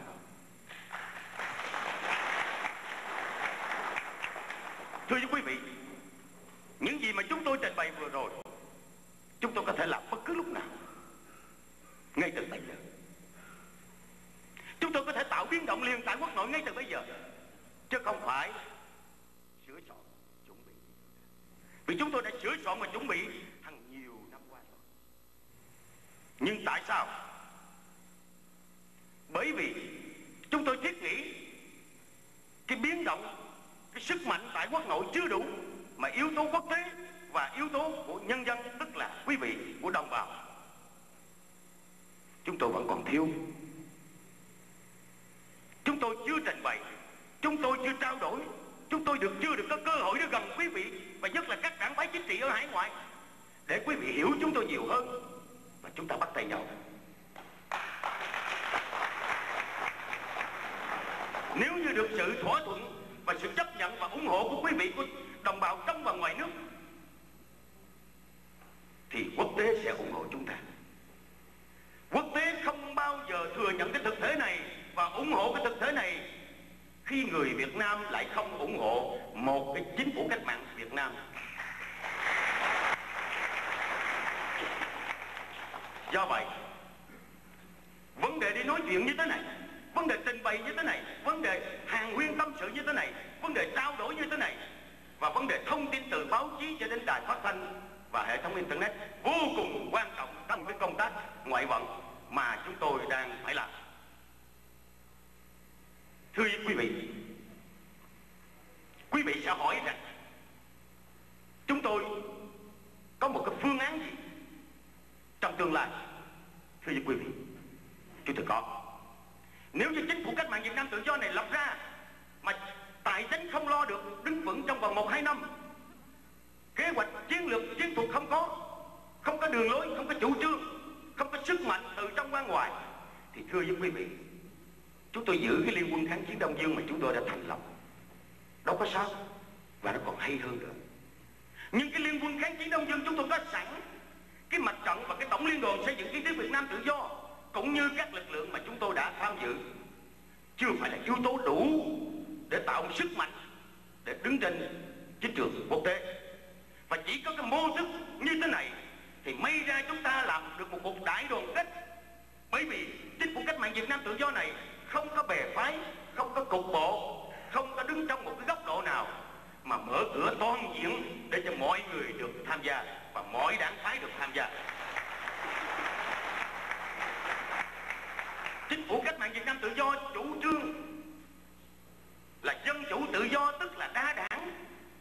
Có nghĩa là quý vị hiện giờ đang lãnh tụ một đảng phái nào đó, đang lãnh đạo lực lượng nào đó, quý vị cứ tiếp tục sinh hoạt bình thường, không cần phải giải tán, không cần phải dẹp nó đi. Dạ thưa không?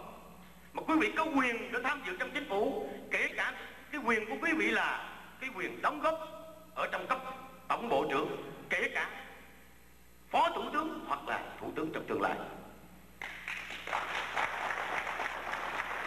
Vậy thì, cánh cửa đã mở rộng.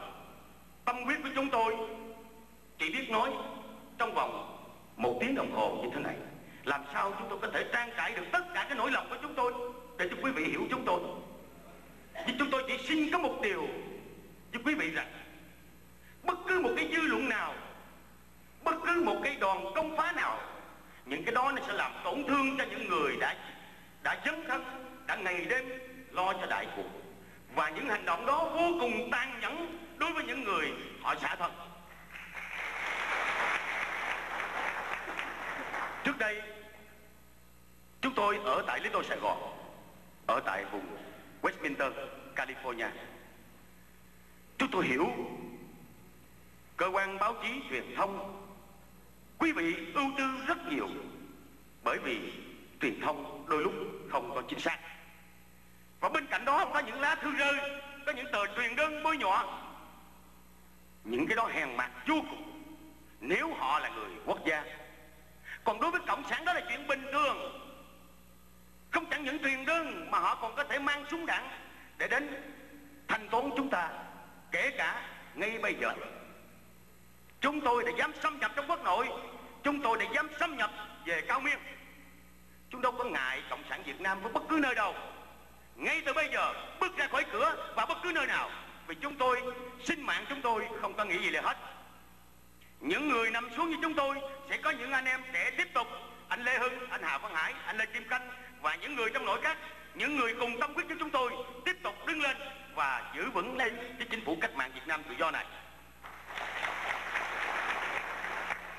Quý vị đã nhìn thấy những mái tóc bạc phơ, kể cả trung tướng linh quang viên đã từ giả Washington DC sống 19 năm ở đó để dọn về California với hai bộ quần áo cách đây mấy tuần. Sống, ngủ trên chiếc ghế salon, trong lúc chúng tôi chưa có giường chiếu. Và trung tướng Linh Quang Viên đã đi ngày đêm từ tiểu bang này đến tiểu bang kia để xây dựng cái hội đồng quân ủy để làm cái gì chức vụ gì trong lúc cuộc đời của trung tướng đã có bao nhiêu danh vọng ngày xưa vậy thì những hình ảnh của những người lớn tuổi như vậy bậc cha anh của chúng tôi đã đủ kinh nghiệm để có thể thừa nhận và xác nhận rằng cái chính phủ cách mạng Việt Nam tự do này là một chính phủ không thể không có được và chúng ta không còn gì để đấu tranh trong ngày hôm nay, trong tương lai ngày mai. Nếu chúng ta mất cái cơ hội này, tôi xin thưa với quý vị, chúng ta làm gì ở hải ngoại? Chẳng lẽ chúng ta cứ sống mãi lưu vong như thế này? Chúng tôi không có chấp nhận sống lưu vong. Dù phải chết, phải trở về quê, phải chết trên đất và quê hương của chúng ta, chúng ta không thể sống một cách đọa đầy, sống lưu vong như thế này mãi. Không thể được, không thể được và không thể được. Đó là lời tâm quyết của một người thanh niên trẻ. Tôi sẵn sàng để gặp gỡ quý vị bất cứ lúc nào. Tôi sẵn sàng tâm sự và hàng quý quý vị. Tôi sẵn sàng mời quý vị như tôi đã từng mời biết bao nhiêu quý vị trước đây. Và không có gì chúng ta phải dị ứng. Đừng dị ứng với cái cái, cái từ ngữ chính phủ cách mạng này. Nói để chúng ta đấu tranh giống như một đảng phái là dùng cái tên đảng đó để làm phương tiện để mà đấu tranh mà thôi. Bởi vì bây, bây giờ tôi, các anh em tổng bộ trưởng này đâu có cảnh sát, đâu có bộ phận an ninh. Nếu ra ngoài kia gặp một anh ma cô nào đó đánh cho bài các tay thì cũng không có người bảo vệ. Bởi vì muốn bảo vệ là phải có tài tránh nhiều, phải lo công ăn việc làm, phải trả lương cho anh em. Đời sống của anh em như thế nào? Chính phủ chưa đủ sức để làm chuyện đó. Chính phủ chỉ lo được những công việc ngay bây giờ và công việc trong quốc nội ưu tiên một. Do vậy cho nên cái chính phủ cách mạng Việt Nam tự do này tôi thiết nghĩ quý vị không nên và xin quý vị hãy nhìn nó là một phương tiện mà chúng tôi đã tạo ra cái phương tiện đó. Và chúng ta bắt tay vào. Để chúng ta làm đổ giải thể cái tập đoàn cộng sản Việt Nam đang cương trị ngày tự trị đất nước của chúng ta. Thời gian có hạn chúng tôi những gì chúng tôi trình bày không có diễn văn, không có bài vở, không có soạn sẵn. Có gì sai sót, xin quý vị rộng lòng tha thứ cho. Và tôi xin hứa với quý vị một điều. Quý vị cứ giao cái trách nhiệm này cho chúng tôi. Chúng tôi sẽ nhận lấy. Trách nhiệm đó là chúng tôi dấn thân kể từ hôm nay cho đến ngày nhắm mắt. Trân trọng kính chào quý vị.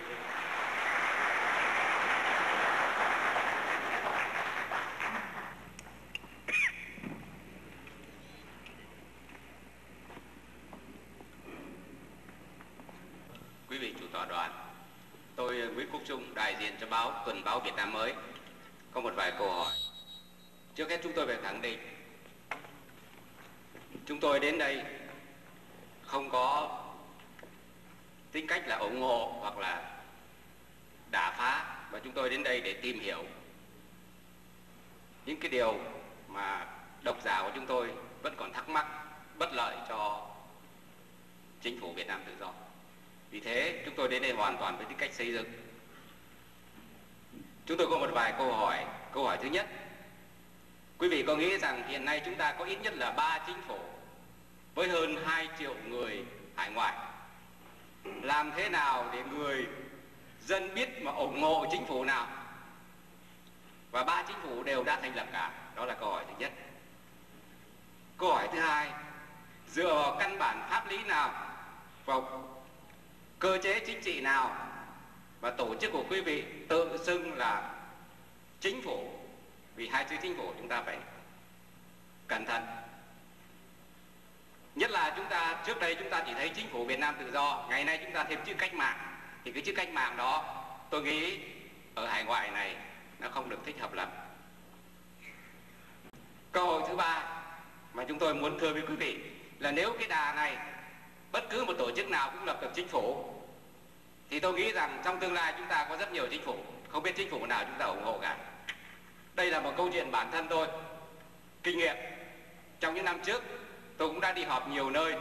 Và cứ mỗi sau buổi họp, thì cái tổ chức đó chia làm ba nhóm, thành lập ba chính phủ.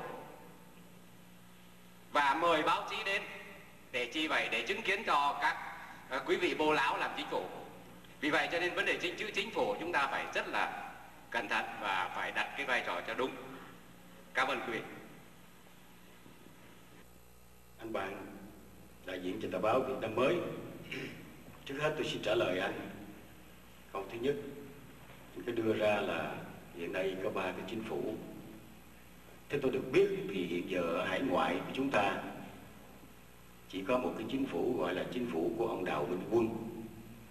Đó là chính phủ lâm thời mà văn phòng của ông ta và phủ thủ tướng của ông ta trên một con đường quốc lộ freeway đi về đường Las Vegas. Và ngoài ông Đào Minh Quân ra, tôi cũng không thấy có một vị nào tham gia cả. Và ông Đào Minh Quân bỏ tiền in báo và công bố một cách hiên ngang gửi thư đến tận nhà ngoài ra thì tôi cũng chưa được biết có một chính phủ nào khác.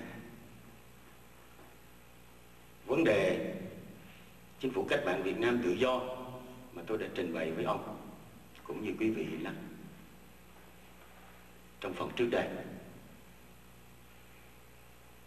Chúng tôi có cái lực lượng liên quân kháng chiến Đông Dương tại biên thủy và trong quốc nội.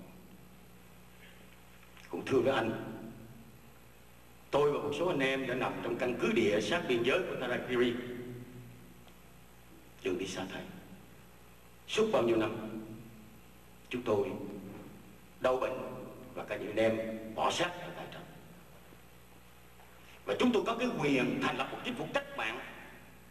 Đó là đất đai biên giới, đó là vùng đất Việt Nam. Và chúng tôi có chiến sĩ. Cái chiến sĩ chính phủ cách mạng này nó tự phát từ những con người đấu tranh cho tự do trước 70, năm 1975 và tiếp tục chiến đấu cho đến bây giờ. Kể cả công pháp quốc tế cũng không có quyền cấm chúng tôi thành lập một chính phủ cách mạng. Tư cách pháp lý của chính phủ cách mạng Việt Nam tự do là những con người đã và đang tiếp tục đấu tranh. Chính phủ này không thành lập tại hải ngoại. Và tôi cũng như anh em hiện giờ đang có mặt ở đây trước khi vào Hoa Kỳ, quý vị cũng còn nhớ là chúng ta tuyên thệ với Bộ Tư pháp Hoa Kỳ, chúng tôi tị nạn chính trị. Và chúng tôi tị nạn kinh tế thì có lẽ ngày hôm nay chúng ta đã bị trả về Việt Nam giống như các đồng bào của chúng ta đang bị cưỡng bức. Do vậy, định nghĩa của tị nạn chính trị trên hiến pháp Hoa Kỳ là chúng tôi tạm cư ở đây và tìm đường cứu nước. Tiếp tục đấu tranh không chấp nhận chế độ cộng sản. Miễn là chúng tôi không làm điều gì phương hại đến tình hình an ninh, trật tự của xã hội này. Nghiêm chỉnh một cách, chấp hành một cách nghiêm túc. Chính phủ cách mạng Việt Nam tự do này được thành lập bởi những con người kháng chiến, những con người đấu tranh cho tự do và hiện nay, nếu như quý vị nhìn thấy, đã được rất nhiều đồng bào ngưỡng mộ, ủng hộ chúng tôi. Mà chúng tôi vừa phân phối số báo vừa rồi. Đến ngày hôm nay, chúng tôi có rất nhiều đồng bào, gần 200.000 chữ ký đồng bào khắp nơi gửi về, ủng hộ, thừa nhận chính phủ này. Cái sự ủng hộ này để chúng tôi đấu tranh trên chính trường, chính trị của quốc tế, chứ không phải để dùng nó là một từ pháp pháp lý bởi vì đã gọi là một chính phủ cách mạng là không có chuyện pháp lý. Vấn đề thứ hai, thưa thật với anh bạn, tôi đã thưa phần trên. Cái danh xưng chính phủ này chỉ là một cái phương tiện để chúng ta đấu tranh. Cái phương tiện này, nó có thể hay và nó có thể dở, nó có thể đúng và nó có thể sai chúng tôi chưa khẳng định là chúng tôi đúng. Nhưng chúng tôi sẽ thấy rằng, đã đến lúc chúng ta phải có một chính phủ cách mạng đứng trên tầm vóc quốc tế. Mà nếu những con người thành lập như thế này, mà vì dân, vì nước thật sự đấu tranh thoát ly gia đình và chấp nhận giữa cái chống và sống và cái chết, thì tôi thiết nghĩ đồng bào sẽ ủng hộ. Mà mỗi khi đồng bào ủng hộ, thì chính phủ này sẽ có chính nghĩa và cái chính phủ này không phải là cái chính phủ lập ra để có chức, có tên, rồi khoe khoang, trình diễn. Và thưa không? Tôi xin trả lời. Ngày hôm nay chúng tôi đến đây không phải để trình diễn và cũng không phải là để ra mắt với quý vị, mà đến để tâm sự, để trao đổi những cái ưu tư quý vị trên báo chí thời gian vừa qua.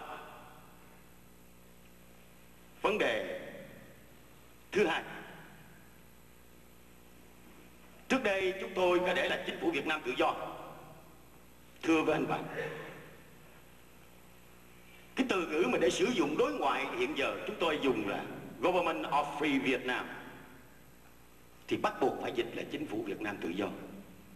Nếu trên phương diện đối đối ngoại mà không khôn ngoan đối với quốc tế đó, mà chúng ta dùng là chính phủ cách mạng tức là revolution đó, thì chẳng có ai muốn dám tiếp xúc với chúng ta cả. Cho nên bộ ngoại giao tất cả văn kiện, thủ tục, hành chính nó cần phải đòi hỏi một sự sáng suốt để sử dụng ngôn ngữ, ngôn từ cho chính sách đối ngoại. Nhưng anh bạn cũng thấy là chúng tôi phải dùng cái danh từ chính phủ cách mạng, bởi vì chúng tôi tự nói với chúng tôi rằng chúng tôi là những người đi làm cách mạng, chứ không phải là một chính phủ hiện hữu. Xin anh bạn thông cảm cho. Và cuối cùng, tất cả những từ ngữ đều chỉ là phương tiện. Chỉ có điều quan trọng hơn là chúng ta phải làm cái gì để chúng ta trở về nước? Chúng ta làm sao để chúng ta giải thể chế độ cộng sản?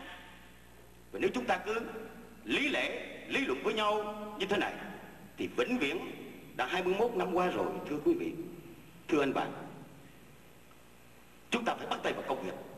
Và công việc cụ thể và thực tế sẽ chứng minh những việc làm hoàn thiện của tổ chức đó. Những năm tháng vừa qua, chúng tôi có người bằng xương bằng thịt. Chúng tôi có những anh em chiến sĩ nằm gai nếm mật bị trục xuất từ biên thùy chúng tôi có những người bị bị bức tử trên bàn thờ. Mà anh bạn nhìn thấy như vậy, anh bạn có thấy xuất xa cho một chính phủ cách mạng không? Và anh bạn còn đòi hỏi cái gì nữa đây? Và nếu như chúng ta không ủng hộ, thì tôi xin thưa với anh bạn ngay từ bây giờ nếu có một lực lượng mặt trận thôi hoặc là cái gì đó mà làm được việc tôi xin sách cặp đi theo. Tôi đã đi tìm khắp thế giới và đến bây giờ tôi đã thấy tất cả sự thật rất là phủ phàng và chúng tôi đau khổ cho tình hình chung của vận mệnh đất nước của mình. Đó là lời tâm quyết của chúng tôi. Tôi chỉ được trả lời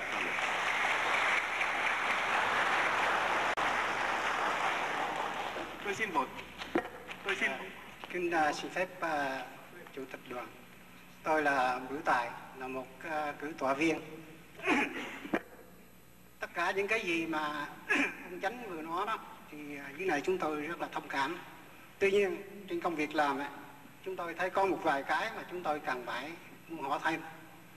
Thứ nhất theo như uh, cụ luật sư có nói khi nãy tôi sẽ làm cũng một phần nào va chạm tự ái.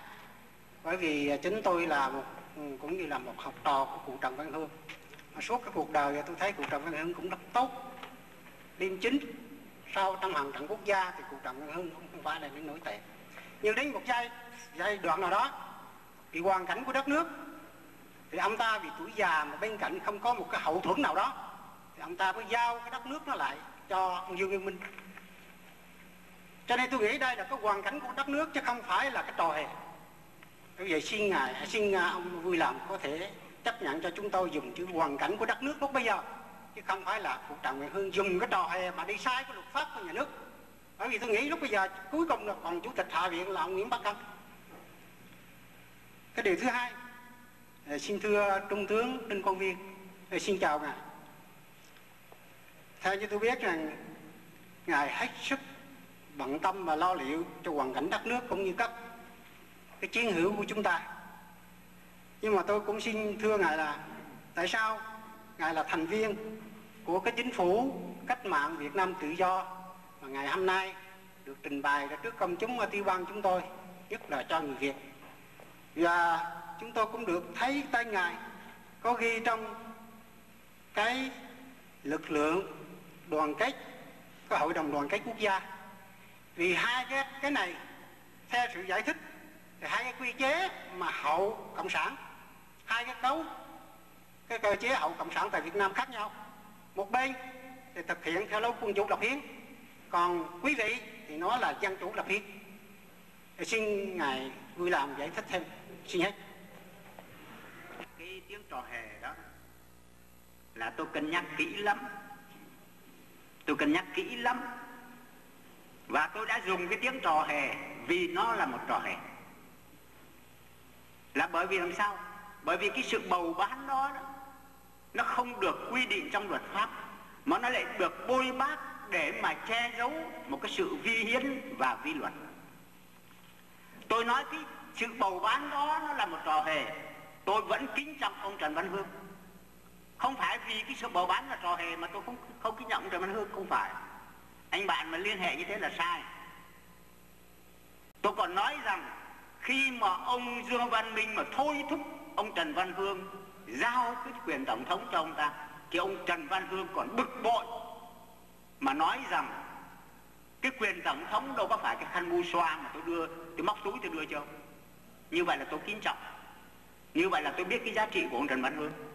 Nhưng mà tôi dùng tiếng trò hề là cho cái trò bầu cử sau đó. Người ta dùng cái trò đó để mà che giấu cái sự vi hiến của lúc bây giờ. Có thể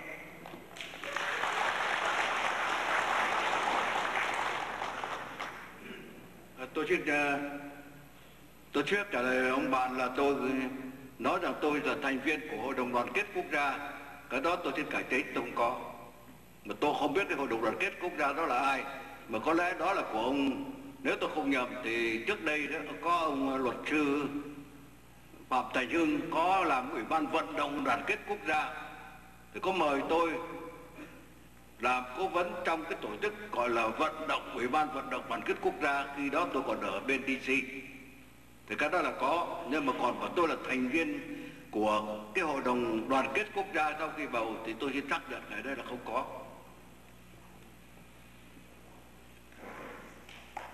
Đó, tự giới thiệu tôi là Trịnh Hoàng Lộc ban biên tập của tuần báo Tiếng Dân. Kính thưa quý vị tôi thì khác với những ý kiến của những bạn chúng tôi trước đây. Trước nhất là tôi xin gửi đến quý vị lời chia sẻ và kính trọng quý vị đã hy sinh cho đại nghĩa. Tuy nhiên, tôi cũng có một cái thắc mắc nhỏ là chúng tôi không biết nguồn ngân sách nào, tài chính nào tài trợ cho quý vị trong con đường mà trung gai như thế để mang lại cái sự ấm no cho dân tộc mình một ngày gần đây, thưa quý vị.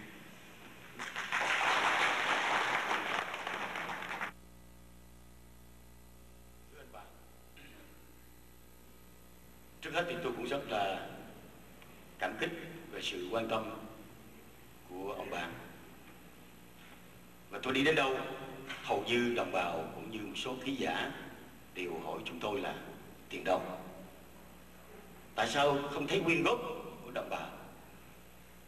Không thấy kêu gọi mà chính phủ cách mạng Việt Nam tự do lại có phương tiện mở đài phát thanh, ra báo chí Đông Dương, hệ thống internet và tổ chức khắp nơi như vậy, cũng như những cái hoạt động tại Campuchia thời gian vừa qua thưa thật là trong cuộc cách mạng dĩ nhiên lúc đầu chúng tôi là những người sáng lập viên bắt buộc chúng tôi phải hy sinh.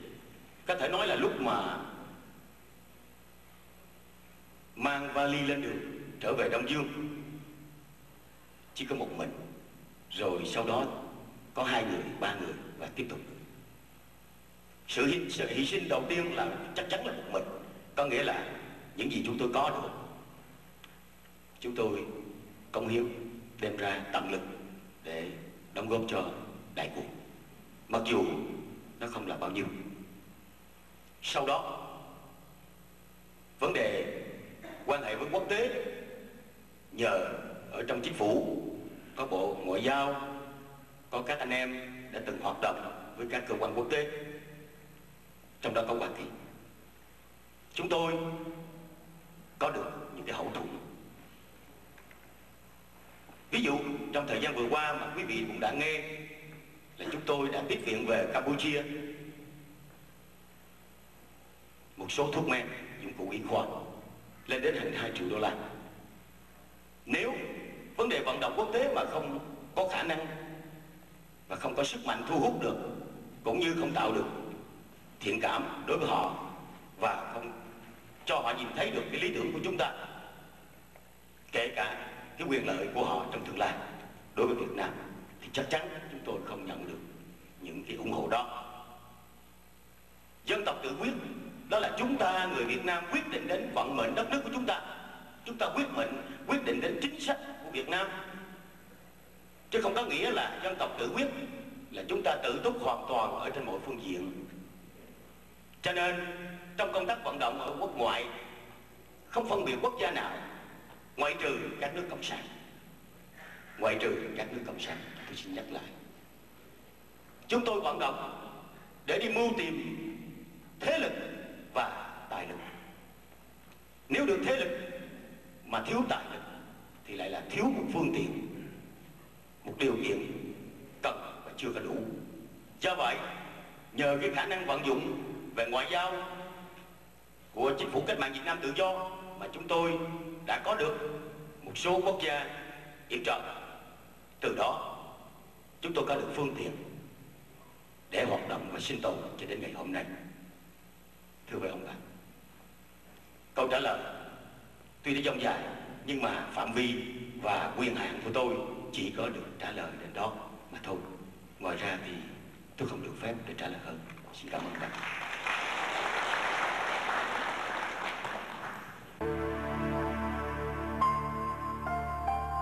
Quý vị đang theo dõi bộ phim Con đường cứu nước, tập 1 của Chính phủ Cách mạng Việt Nam Tự do.